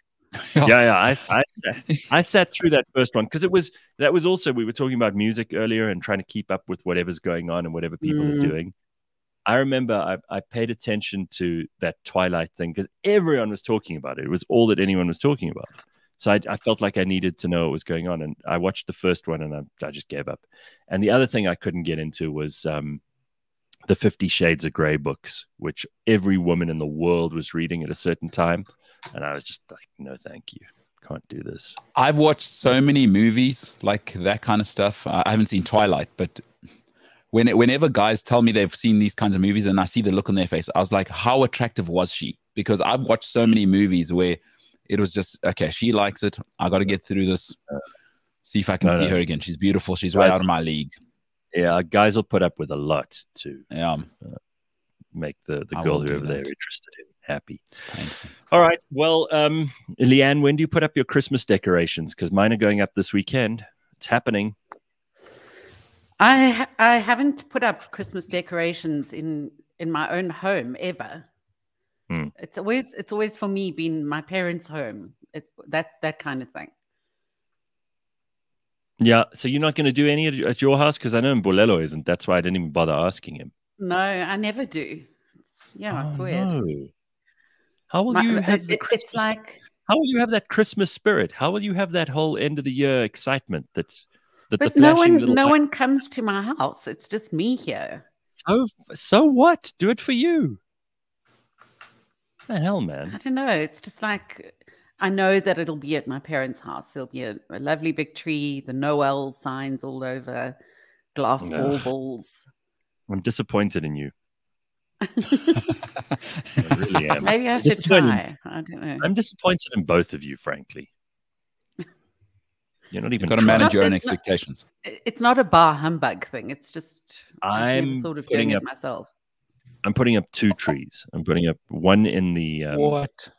Yes, no, I'm putting one up downstairs, which is the main tree, and then I'm going to put a little one here in the study, so that when we do the show in the mornings, if you guys aren't going to be festive, at least I will be, and it'll be in the background. I'm going to change the arrangement of this room so that I can have the tree in the background. It'll make it much more fun, and people can at least feel like somebody on the show has got some fucking Christmas spirit. There is a there is a specific date you're supposed to do it. I just can't remember what it is. It's meant to be the 12th. The 12th. it's it's meant to be 12 days of Christmas. So you you put it up 12 days before and you meant to take it down 12 days after. But most people take them down a lot sooner than 12 days after because Mm. by then you're all Christmased out, you know. Um, but that's what Advent is, I think. You know, the Advent calendars. Yes. Okay. I Uh, uh, interestingly enough, my I used to ask no for an ad. I used to ask for an advent calendar because I had one when I was really young, and in those days they made them beautifully, um, with the little cardboard bendy bendy doors. Everything was covered in glitter. Each Mm-hmm. Yes. um, each one had a, a proper gift inside, not just the ones that they make Sure. now, where it's a, a piece of chocolate in a mold. Um, and I remember saying to my mum, I, I must have been, yeah, I was in my 30s. And I said to her, Mum, you know that I only ever had one advent calendar. And it was something that I looked forward to every year, and you never bought me them again. And since then, every year, it, from my late 30s until now, Oh she my- buys me an advent calendar. What a way to guilt your mom. I feel so. You made me feel so sorry for your mother there. No, me too. Like, oh my gosh. even even now in her wheelchair, she sends somebody to buy me an advent calendar. Oh Well- my word. my uh my I don't I don't have an advent calendar up because I mean it would just be me opening it and I'm not going to eat 24 chocolates. Uh, but my my little nephews have one at their house. Obviously, their parents are going up, but then my my parents have also put one up. So whichever kid opens the the door at their house, the other one gets to open it at the grandparents' house. So they're going to end up with so many chocolates in them. Unbelievable. anyway, That's um, yeah. So so Annette says my tree and my fairy lights are already up. Uh, Onkopotse says also putting up a Christmas tree. House Christmas decorations are taken to another level in the US, over the top but awesome. Yeah, I love that. And Terence says the Christmas tree conversation sounds like deja vu. It was discussed on Monday. I'm sorry it's boring for you. I'm excited about this. you I'm are not gonna. on. be- I'm so excited about that. I love Christmas, man. Justin says we put up our Christmas tree on the 16th of December and take it down on New Year's Day. Yeah. Uh, Melissa says, Gareth, you don't seem Mbulelo getting upset with you because you don't want to run 100 kilometers. Fair enough. Fair enough. No, but listen, you know, I didn't want it to go there, but but uh, you are. I, I don't know if it's just weird to me. You are weirdly into it, but it is a good thing because the one part I, I've told you I love, I'm just looking forward to spending time with the people I love. That's the only thing I like about it. Like, Mm. spare me the rest. I just love spending time where everyone's off. Let's let's have a go at each other. You know, uh, come I around, see you tomorrow. that- I hope Boom, these, boom, um, boom. I hope these assholes in government aren't going to try and lock us down again. I mean, No, they can don't forget it. you know? They can forget it, right? People No. are not going to Yeah, fool forget it. Forget it. So, so from what I'm seeing in the news at the moment, this Omicron or whatever it is variant, Omicron, Omicron, whatever it is, this thing is much more transmissible but much less dangerous. Yeah, So- mild mild symptoms. And I see lots of countries are being are being pressured to open up travel for South Africans again because Cyril's gone on a rampage. He's like, "You guys can't cut us out just because we discovered this thing. Don't punish us." Blah blah blah. So I hope he sticks It's to in that. more northern hemisphere countries than it is in southern hemisphere countries. I know there was a Stephen Colbert clip that was doing the rounds where he said yes, exactly that. Saw that. But but you know, I get nervous because he's apparently talking to us again on Sunday, and that oh, just yeah. Oh. Ugh, Oh, I, I, I'm not gonna. he- I'm not. Yeah, I'm not gonna preempt the whole thing. If he's standing up, you got problems. If he's sitting down, ah, don't worry about it. Then, then it's just a little, you know, he wants to show you his new iPad cover, and yeah, So Tracy says this year I got myself an advent calendar with coffee pods. That's cool. A different brew every day. My son once had a Lego advent calendar. That was the coolest Oh, that's one I've ever seen. That's very cool. Yeah, that's quite cool. All right, uh, we're going to turn our attention now to somebody who is no stranger to the show. He has been um, he's been very busy since we last had him on the show. And in case you don't know, Rich is the co-founder of global presentation powerhouses Missing Link and TalkDraw. He is renowned as a speaker and has presented his thoughts and ideas in many countries, including oh, I mean Canada, Puerto Rico, UK, USA, Germany, Kenya, Pakistan.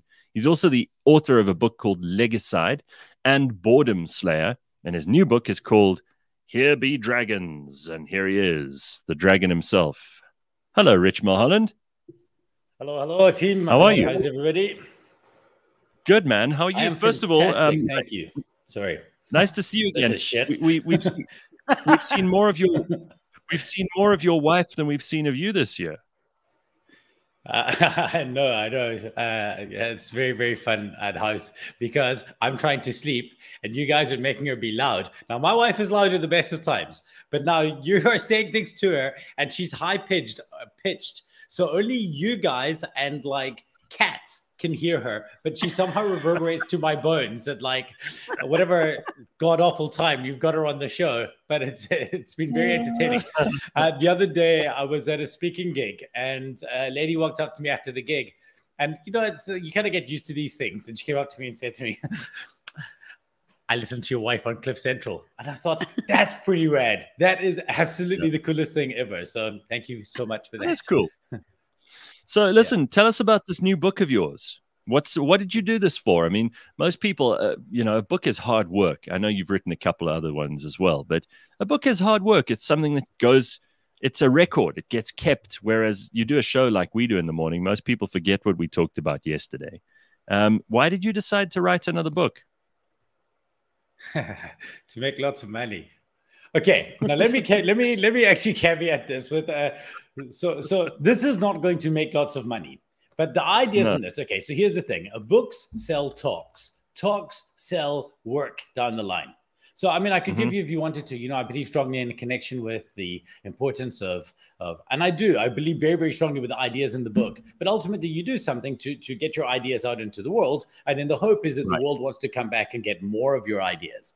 So the book is a, is an entry point. You want you want to get to the point where it's making people have more questions and think, "Hey, I need a bit of a guide uh, uh, to take this further." And of course, that's Mhm. what our business helps with. So the book was there to to introduce and to connect a problem in the world with us. And then once those two things exist, if people now think, well, this problem feels like one too big for me to go alone, maybe we should engage with that company. Now, I hope that many, many people will have enough in the book in order to solve the problem for themselves.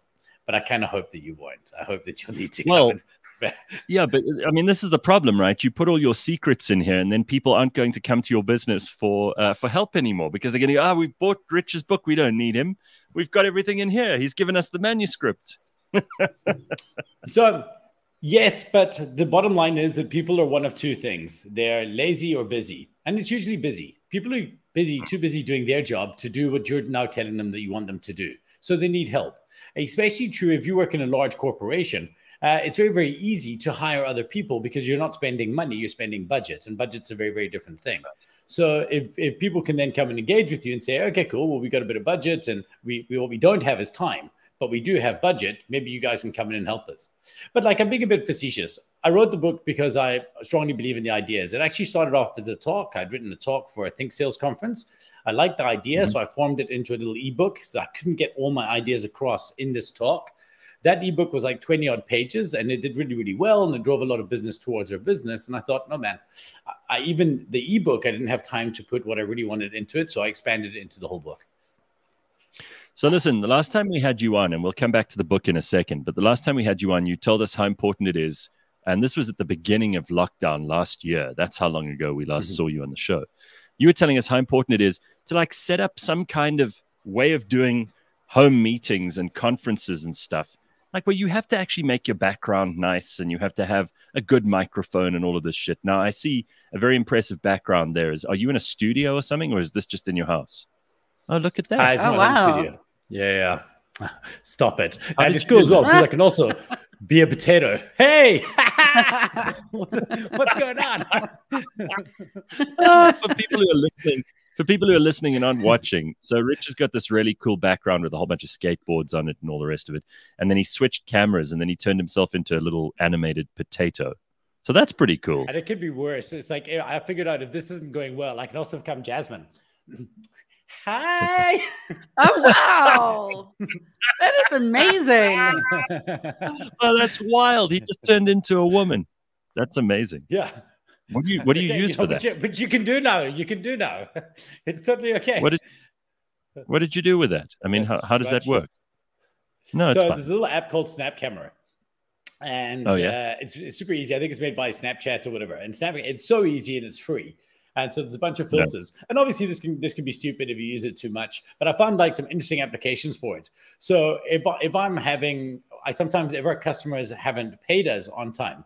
And uh, my account person says to me, listen, this person hasn't paid us for a while. It's a bit of a problem. It's getting a bit silly. So I'll send them a video and be like, hey, guys, you know, I, I know the project went well. I, you know, so thank you so much for uh, engaging with us. But if you wouldn't mind at all, please, could you pay the bill? it's not a biggie, but, but don't worry about it. Turns a demon. That's hilarious. And That's uh, the good. idea is to try, try and have a little bit of fun with things, but to do it subtly. Now, Mhm. today I'm just kind of all over the place with this, but in a presentation, sure. there may be one or two cues where I want to use it or things. And then, yeah, that will go into other tools I have like Prezi. So if I wanted to, and you know, I could also bring up content and things like that uh, relatively easily. That's so fantastic. Yeah, it's a great. It's, you know what the Very nice thing about presenting online now, about the world we live in, is that you become, you stop being just the uh, presenter, and you're also the stage manager. If you want to change your lighting, you know, you want to do, do Yes. things and get different looks and stuff. And so it's given us room to play in a way that we didn't have before. And and so that's been fun. So it's allowed me to think. I don't want to like it's a 4D presenting experience Mhm. now, which is pretty Mm. rad. That's I think that's amazing. Love it. Yeah, and people have to they start they have to start thinking creatively. I mean, there's nothing worse than those cameras that shine up into someone's chin, and um and and they've got a terrible microphone that's popping the whole time, or you hear this hiss in the background the whole day. It's just Let, us not forget the judge who turned himself into a cat for the entire hearing. That's right. He didn't, Yeah, he didn't that's know how to change it. So, Rich, It's I one mean, of my favorite uh, hacks. Sorry. One of my mm-hmm. favorite hacks, if you live with somebody who does Zoom calls, if you go Mhm. into at the bottom of their so there's a bit that's called virtual like filters in your in their mm-hmm. camera settings. Now, if you go Yeah. to the very bottom of that setting on Zoom, there's a thing that says mm-hmm. studio effects. It's on the bottom right. Now, if you go to Studio Effects, it's where you can actually thicken your eyebrows or make a better mustache and things like this. So if you did want to actually add stuff, the best thing about it is, and it's so hard to find, there's a little setting there that says apply to all future meetings. So Oh your God. job is to find the person in your house and give them a mustache for all their future meetings that they will have no idea how to turn off. They will be like that Judge off. Cat. yeah, That's so you great. have to literally go into a setting, into a setting, into a setting, and uncheck a box. Beautiful. But it is amazing how when you when you watch people doing this stuff and and i'm sure you've seen this too in presentations there are some people who are so vain and so self-absorbed that they're pretty much looking at their own picture the whole time you know what i mean Right. So there's two ways around that. Uh, the one way uh, you can't do it in StreamYard, but in a tool like Zoom, I, I often find if I'm ha- having a one-on-one meeting, I go to hide self view, and it makes it easier to engage people. The other is to Yeah. use. So right now I'm looking through a teleprompter. So I don't Right. actually use a teleprompter for teleprompting, but I use it so that I can stare directly at the camera, directly at you guys. But Mhm. I'm look. I would. Okay, now you put me full screen, but I would normally be looking Yeah. directly at you guys, and it Right. doesn't look like I'm looking in the wrong place. Another fantastic tool, if you want to try and get that without the expense of a teleprompter, I highly, highly recommend PlexiCam. Uh, what is that what it is. Is, it- a small we're getting little the- tool like this. Yeah. Okay Okay. And so if you imagine there's a yoke here, now this goes over your screen. And so what Mhm. happens is your camera can now move up and down and across on this clear setting. I know, sorry, this is really, really terrible audio Amazing. for those watching Yeah. listening. But so then you're essentially your camera would be here and you Mhm. it would be sitting on this device on the Right. middle of your screen instead of sitting here at the top of your screen. So you can With maintain perfect eye contact with people without. And listen, my book is about selling with a story. You cannot be convincing if you've got all your if if you're not setting the basic standards correctly. If people walk up and they look at you and they, they've not set things up, you're looking down your you know their nose. You've not made an effort. Your ethos is all wrong. So they may like your your you know your logos may be good, your information, your pathos, how you connect to them emotionally may be good, but they don't really Mhm. trust you as a source. That's problematic. Like you got to sort that shit out. sure It's Absolutely. so true. There are people that I work with, and I, I, I can't connect with them because they've got some camera coming up their chin and they're looking way up, and you feel like you're not being listened to when you speak to them. There's no connection. Yeah, it's terrible. Uh, a good a good standard rule of thumb for me is the top knot. Now, bear in mind, so if you go to negotiation school, the first thing they're going to teach you, and it's, it's so cheesy, but unfortunately, this kind of thing works, is you know you Mhm. bring in the person and you sit on the higher chair, you put them on the lower chair, right? Uh, so that Yes. they're kind of sitting down and you're looking down at them. One of the things that everybody says to me, so I'm like, I don't know, four, uh, five foot eight or something, five, seven, five, eight. I'm not a tall person, I'm like medium height. But one of the Mhm. things that a lot of people say to me when they now meet me in person for the first time is, oh, you're shorter than I expected. And the reason is because I fill the screen properly. So I'm I'm at regular Right. tall person height.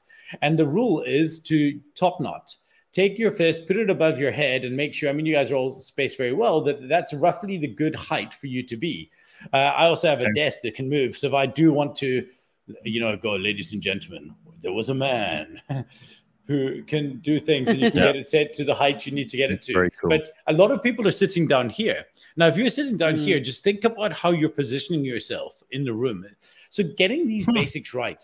And, and as far as I'm concerned, Amazing. I don't know if, if you feel this, but I get into meetings now. If somebody looks like shit, 18 months into this thing, 20 months into this thing, I'm sorry, you're just not making an effort. Like I'm in my fifth, sixth iteration and I'm already planning Yeah. other things. Just, you know, invest a tiny bit. And and these Hmm. days this is your office. I mean think about what the rent for office space would have been before or if you're if you're working at the place and you're not paying the rent the, the petrol costs that you would have had to pay to go in and out of the office. So if you are working from home put some goddamned effort in. Yeah, I mean, and it's a stupid thing, and I, I know you won't believe this because I look bloody terrible, but uh, I put powder on my face every morning before I get onto a Zoom call, and people will say, "No, but this is ridiculous." But here's the thing, guys: like if you were going into a video studio, and people, I've got a big effing light right in front of me here, a key light. Mhm.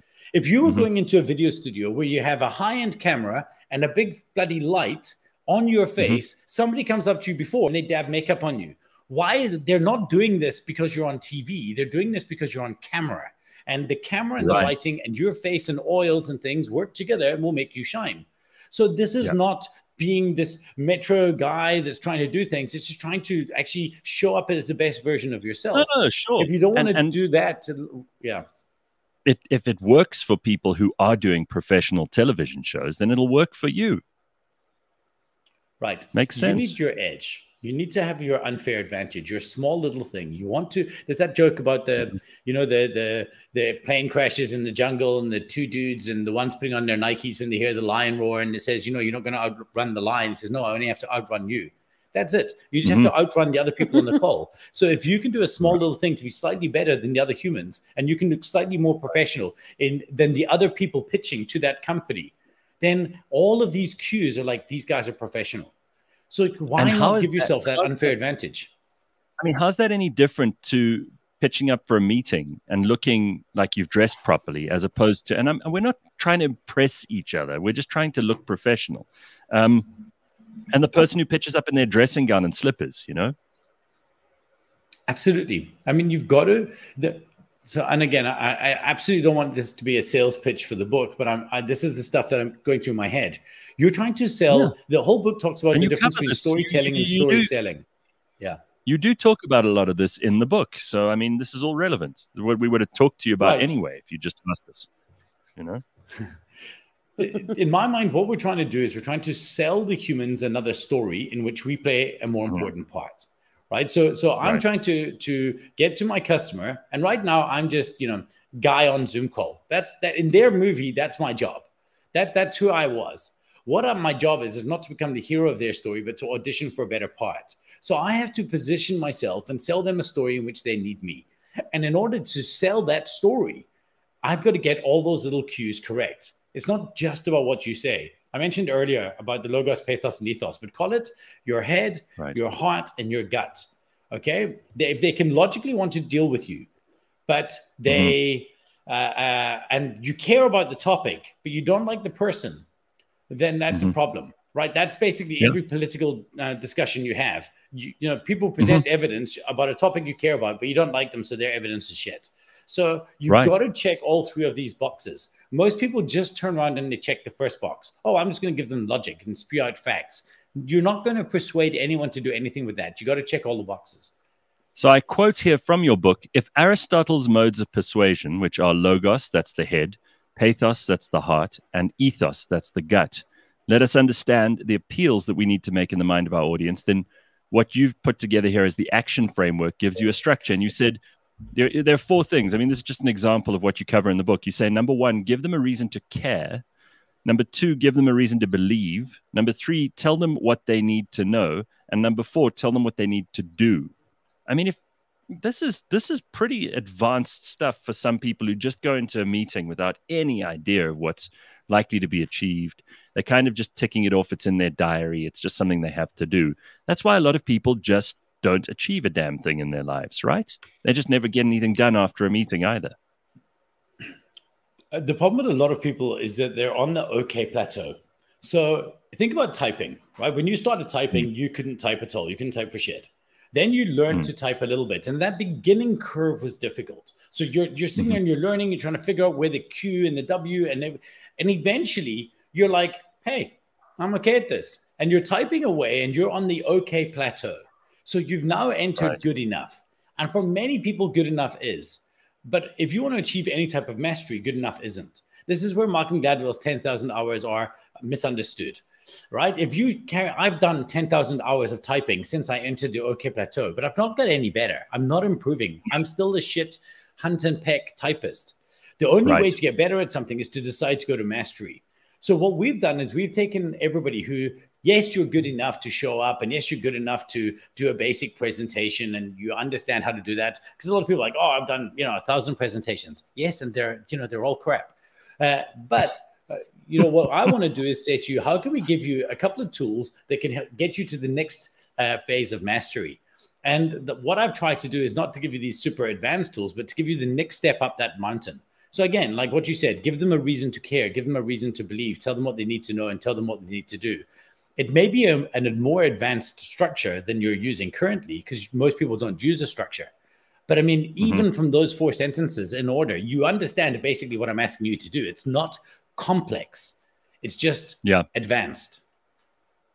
No, I love it. I mean, listen, Rich, if we can just get everybody to make uh, a little bit more of an effort with their presentations, with their meetings, with their general attitude to how to get things done in business, I'm all for it. That's why I love the idea of this book. And I would recommend it to anybody, no matter what business you're in. It's really, really helpful.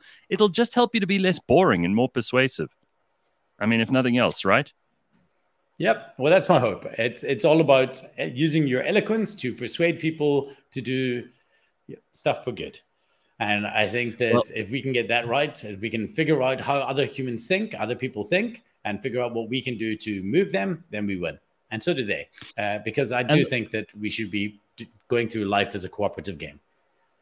and uh, you know the the importance of stories uh, you know that's the whole the crux of your book really uh, humans have told each other stories since the dawn of time those stories can sometimes turn into really important tools that we use every day in an economy or in society and sometimes those stories are just useful so that we can amuse each other but either way we've got to be better at telling stories and the people who are the best at telling the stories are the ones who make the most money who have the happiest lives, who have the best relationships, who have the most sex, who have the most enjoyable uh, holidays, uh, because you can tell a good story about them. I mean, I, uh, who isn't who isn't attracted to the idea of being around a great storyteller, someone like Billy Connolly or you know George Carlin or any of those great comedians, or even the people who've written these amazing novels that all of us love so much. Those are the people who we regard the most highly. And if you can learn how to tell better stories, then you're on your way to all kinds of success. It's called Here Be Dragons with Rich Mulholland. It's really good to see you again, dude. Um, what are your what are your Thanks so plans for. December? Are you, doing doing anything fun? You're always traveling. What's up with you? Yeah, we just came back from. I was on a US speaking tour, and we were in Cancun, and uh, uh, now we're actually relaxing over Christmas. We were considering going to Glasgow for a couple of weeks, but we're actually doing that next year anyway. And that, so Mhm. we were still busy con- contemplating that, and now that's uh, obviously not happening. But we were, yeah. I'm your, your accent chill. definitely needs um, sharpening up. So I, I Yeah, totally, totally. I'm glad to hear you. You're I go, I go there for a week. I'm like, hello there, right? What's going on? I come back, how's it? How you guys? Stop it. I know it's No, so weird. And I mean, just listening the last time um, you were on, it's weird. It was just audio, and we were in a studio setting. But your accent has definitely become more South African during lockdown. It's unbelievable. Well, that's strange because I've been here like uh, 38 years. So I'm, I'm surprised that the last, it kind of really depends on how I feel, I think. If I'm like angry or passionate, I get very Scottish. And when I'm just like being myself, I'm, I'm like very Sandton. Yeah. Listen, has, um, has Jasmine pulled out all those Christmas decorations that she told us about earlier this year? Dude. to the Kennedys like bullets. Okay, so Jasmine pulled out those.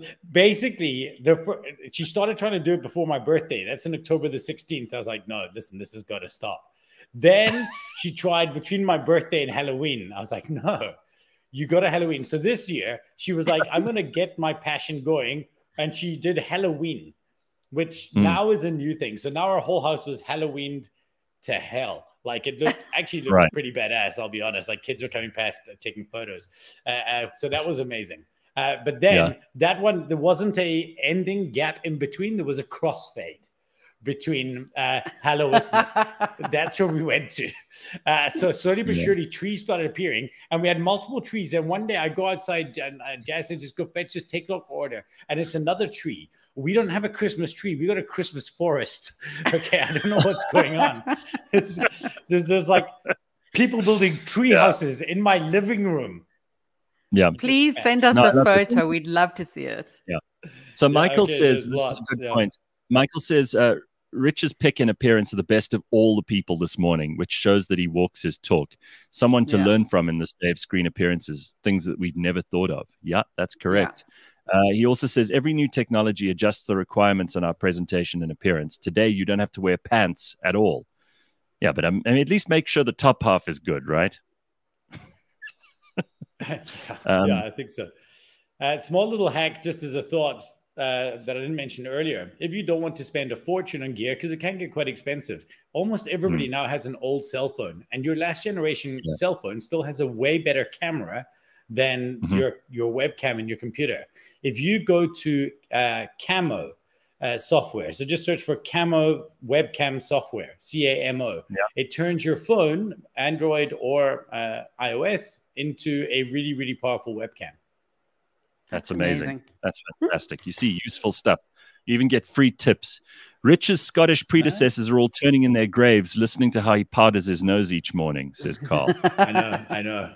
Yeah, they absolutely are. They absolutely are. They also like uh, I don't drink either, so they disowned me ages ago. For like Oh the last God. twenty years, my dad just pretended I'm drunk. All right, you're Richard. Of course he drinks. Right, he's having a wee dram now. that's no water. All right, that's not water. That's whiskey. And, and listen, bro. Before before I make this worse for my Scottish ancestors, like I need to tell you, I'm also because it's very important that I mention this on every single thing, or else I lose my membership card. I'm also a vegan. Oh, Lord. Oh, no You haggis for you. You're not even like 5% Scottish anymore. No wonder Leigh-Ann picked up on your accent going That's away. what happened. Scots I moved to South Africa. I moved. You know what happened? I blame. turned into a excuse me soy boy. Yeah, uh, yes, and I blame that fucking Al Gore. Okay, fuck you, Yeah. Al Gore. Fuck you, and I'll tell you why. Because Al Mhm. Gore did it. He did the only presentation in the history of the world to win an Oscar. It was called An Inconvenient Truth. Brilliant documentary and actually a masterclass in presenting. And because one of my favorite things, and I said to you at the end, you know that that four steps. The last one, tell them what they need to do. You just Yes. watched this big thing about the world going to hell in a handbasket and like the environment is screwed and you can't do anything. And then at the end of it, he turns around and says, But you must be thinking, what can you do? And I was. And you're thinking, next time you go to the shops, just buy an energy saving light bulb. That's it. That's the only change I want you to make. But Mhm. he's smart AF because you go to the shop, you buy an energy saving light bulb, and the instant you do that, you're telling yourself, hey, I'm a person who cares about this kind of thing. So you change your light bulb, then you change all your light bulbs. And every time you do that, you're further down to the fact that you're writing a story and selling yourself a story that you're a person who cares about this. Then you recycle, then you do this, then you're a bloody vegan. I mean, Oh. for God's sake, Al. I, I love your But I still think You're that great- um, my vegan you're food a made by my wife is more delicious than anything you guys have eaten in the last Mm, month. So. I'm okay. Yeah. Listen, you, you talk about the power of storytelling, and you're really good at this, but I didn't buy any of Al Gore's bullshit. I haven't f- fa- fallen for one part of it. I don't care about energy saving light bulbs. I don't separate my rubbish. I don't eat vegan food. So, not You don't separate bit- your rubbish. Not a single bit of his propaganda bullshit has got through to me. So, I don't know whether that means I'm bad or he's not good. No, I think it probably means you're smart in some ways. Uh, listen, the energy saving light bulb, but just don't be an asshole. It's not nothing, even if you don't like the environment, buying one No. light bulb that lasts you for No. 20 I- years is a I'm lot sorry. cheaper than buying 20 light bulbs. And you don't need Yeah, those there are- white ones anymore. They've got nice yellow colors. they there are people who have six or seven children in this world and they have the cheek to tell me i must get an energy saving light bulb please you want to talk No, about but Gareth, talk about Gareth no, no, no. I'm not terrorism. talking to you. I'm not talking to you about environment. I'm saying to you at some point, this is one of my problems with a lot of people's argument is if there is no falsifiability of your point of view. So even just from a purely economically logical standpoint, uh, Yeah. buying an energy saving light bulb, if you're not buying an energy saving light bulb, if you're buying cheap, crappy light bulbs that you have You're to screwing replace every yourself. few years, i know yeah. Yeah. so that's not a logical thing. I You get you. may as well buy the energy saving bulb. But what again? So and uh, this is what happens. It does creep in.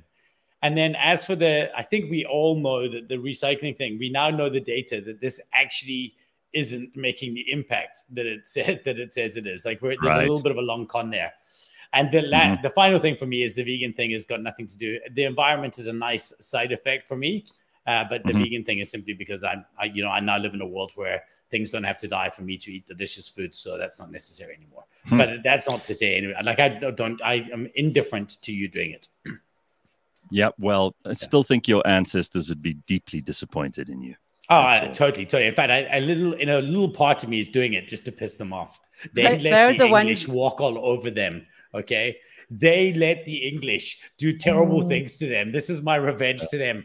Your great great grandson will be a teetotaling vegan. Ah, ah, sorry. They're, they're, your ancestors are the ones who are, are fucking with your accent, actually. Yeah, exactly. So They're let me- going um, from heaven.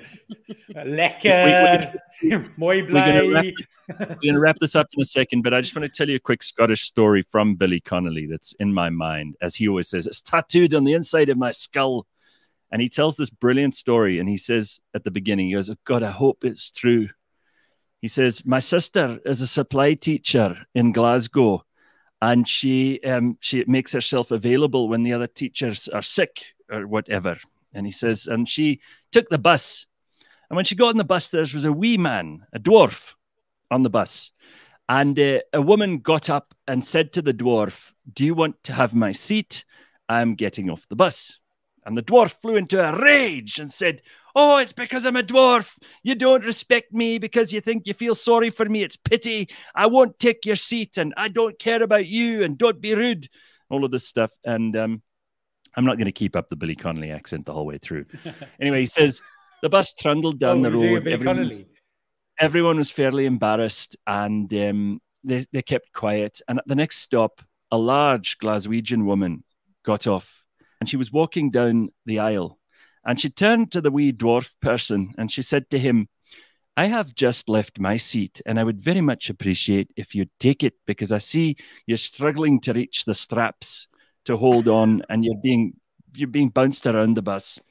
And uh, he flew into his rage again and said, Oh, it's because I'm a dwarf. And she went, No, it's because you are a person. And as a human being, I respect you enough to offer you my seat. And by the way, she says, I thought you were very rude to that other woman just now. And I'd like Snow White to punish you when you get home.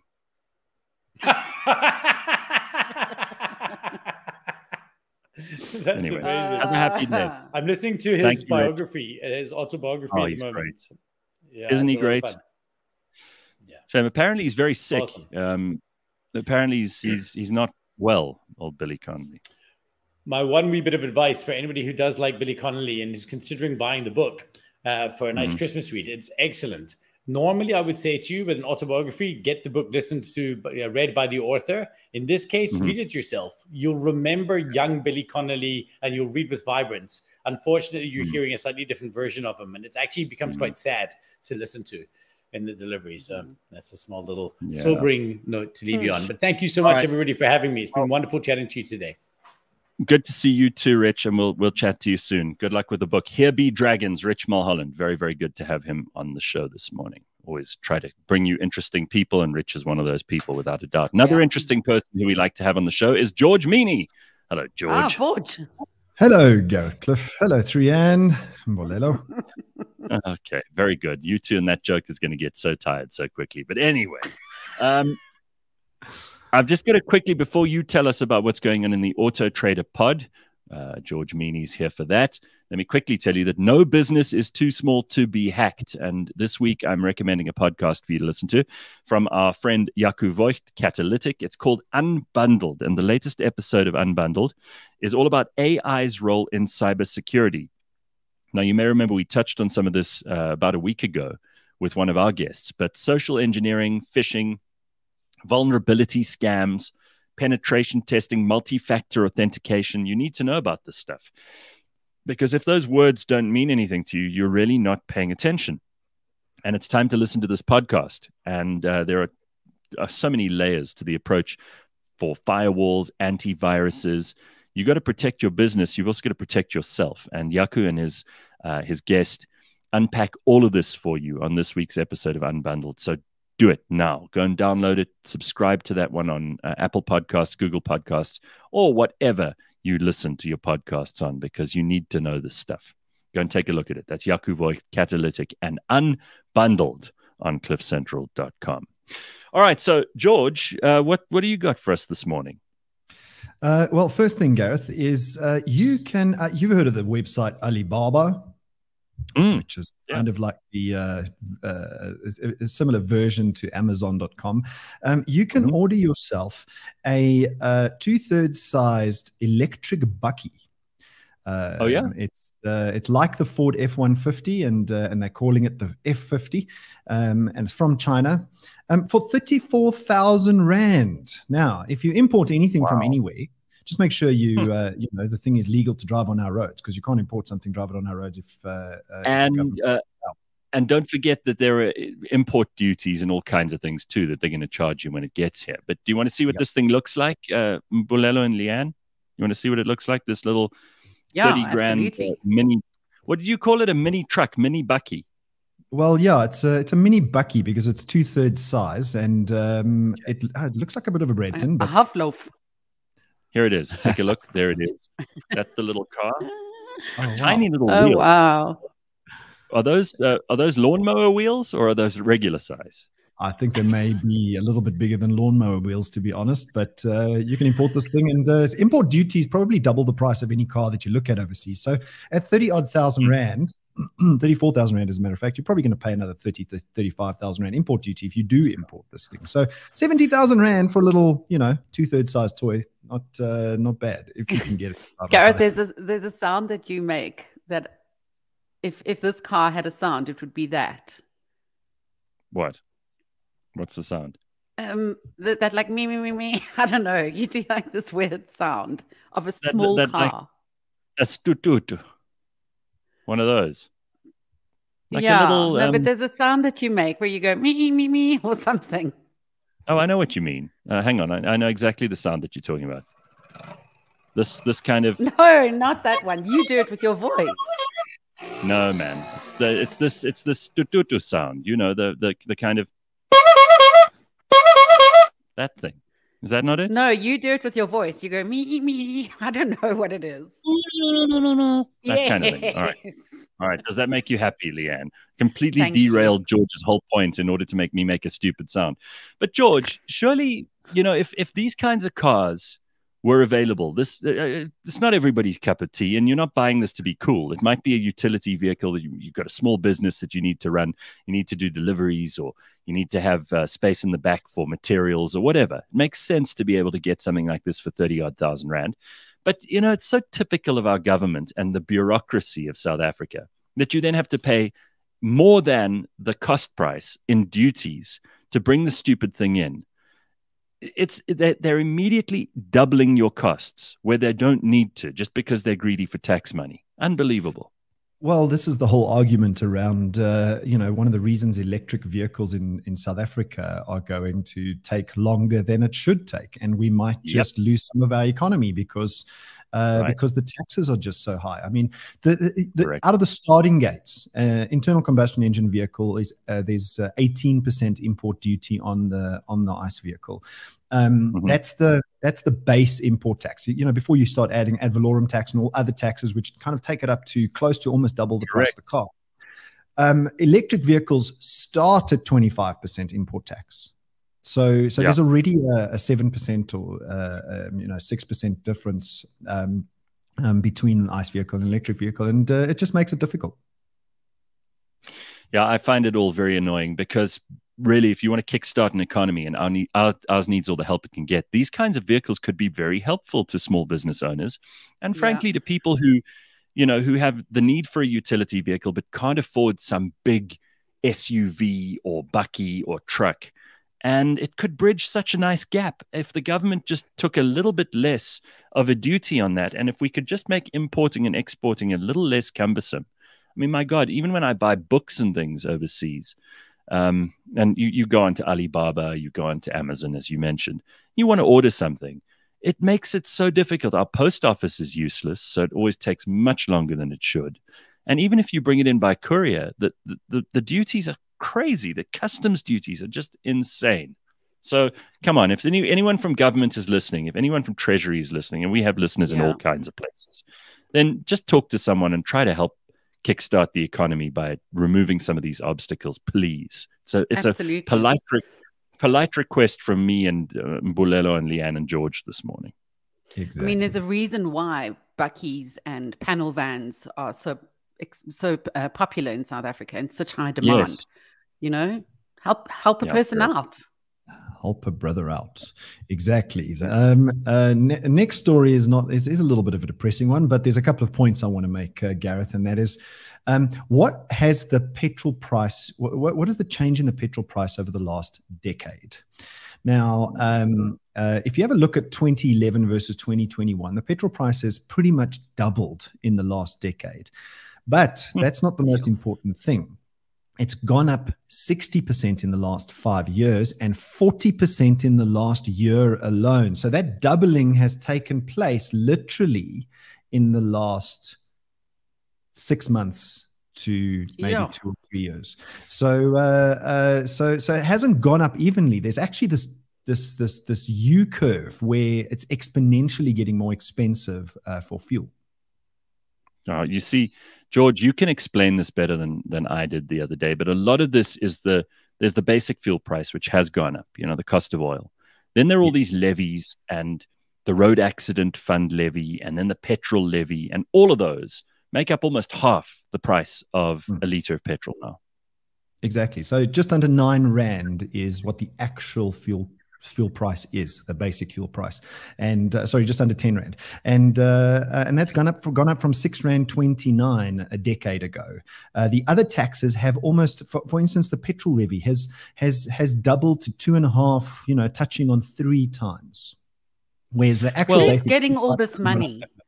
My the, the God. the government the government are again What- um, trying to trying to kind of fleece you and make it work for them but not for you i'm afraid i mean Alta published this really useful chart which i'm going to try and put on in a minute um, just to show you how they break down the petrol price and what exactly you're paying for and again george you know for many people they're traveling a lot less at the moment because lockdowns and the change in working environments has had an impact on people but for those who are delivering goods and we all have to pay for that price increase because we all go to the shops and we all buy things and it still needs to be delivered to you.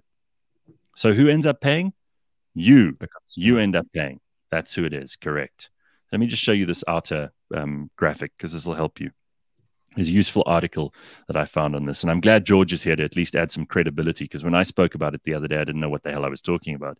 But here you can see uh, the, the, the current petrol price is that, that tower on the right and 9 rand 37 is the actual basic fuel price Mm. then there's a 4 rand and 9 other levy category which is insane uh, it's the biggest levy category then there's the road accident fund which costs you 2 rand 18 for every liter of petrol you fill up then the petrol levy itself which is another 3 rand 83 and all the levies combined have increased by 126% whereas the fuel price in 10 years has only increased by 49%. Yeah. And the- It's- and therein it's totally out of whack.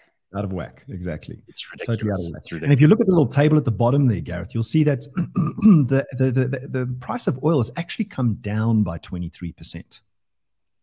Um, so the Yeah, input cost that's has right. come down. I mean, yes, the rand dollar, the rand, the rand has tanked, but that's because of a, a bad economy.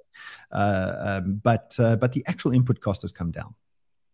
Well, you see, George, I'm glad that you could explain it all to us. Thank you. Hmm. We need to know this stuff. So uh, so how do you save fuel on your December trip? Um, I'm a bicycle. Yeah, no, bicycle. Um, you know, it's it's it's very difficult to uh, to save fuel while driving. Um, you know, in today's world, because cars are very efficient. You know, cars are are are, are very efficient compared to cars 10, 20, 30 years ago. Um, so it's very difficult to save fuel. But what you can do is do a couple of really kind of uh, what I what I'd say is intuitive things, things that should be common common sense. Uh, when you accelerate from a traffic light, or when you get going in traffic, or you're on your way to Durban and uh, and the traffic comes to a standstill, don't race to 120 kilometers an hour. Ease yourself to 120 kilometers an hour because the number of times that you do that will just save you fuel. When you brake, anticipate the braking, um, slow down evenly, don't jam on the brakes because you've just wasted a lot of fuel by doing that. Um, and so your driving style can save you a bit of money on your long trip. Hmm. Very good. That's useful information too. Cool. All right. So don't then, uh, don't race away from the stop street. Like yes, don't race away on the stop street like uh, you know they they do in Durban. Um, and then, uh, uh, very finally, um, why is it a bad idea to let your dog stick their head out of your car window? and I'll tell you what. because- Besides, go on. No, I'm. I mean, your dog's head sticking out of the window means your dog's head could be chopped off if something comes up close to the window. For God's sake. passing bus. Exactly. It's dangerous for the dog. Uh, uh, you know, insects, debris flying into their eyes, etc. But everybody knows that a dog's hearing is a lot more sensitive than a human's hearing. Mhm. Um, and uh, uh, wind rushing past the dog's poor ears at 100 k's an hour, can you imagine what that's doing to the dog's hearing? And if your dog goes deaf after a while, it might be because they're sticking their head out of your car window. Okay, Uh, it explains why my little miniature pinscher went deaf early. But how do you stop him from doing that besides keeping the window up, which feels cruel? It does feel cruel, but uh, I thought it was a nice anecdote to um, to Yeah. you know saving your dog's hearing. There we go. some, some humans, some humans' hearing need to be saved too, but uh, This they're is not a- sticking their head. This is in windows. something that people don't appreciate fully about Leigh-Ann and George is how much they care about animals too. It's not all about cars and saving petrol money, you know. Yeah. Exactly. Yeah, well, yes. Yeah. All right, very good. The government is not pushing EV cars because they will not get levies from them like they do from the petrol levies. That's a point that Jeremy's making this Mm. morning. Uh, Annette says the pet thing that's also bad for their eyes. Uh, A Mhm. dog can put his head outside a window, no problem, but blow on their face and they hate it. You noticed that? That's so true. It's a good point too. All right. Anything else, George? Nope, that's uh, uh, that's it. And uh, um, uh, vehicle market in South Africa, very finally, is starting to gain a little bit of momentum, and uh, um, it's uh, it's encouraging, but um, it's early days. Hopefully, 2022 is a different place. Well, um, um, your timing is excellent. It's exactly eight o'clock. Have an awesome fr- uh, Friday, everybody, an awesome weekend as well. And we will see you on Monday. Be good.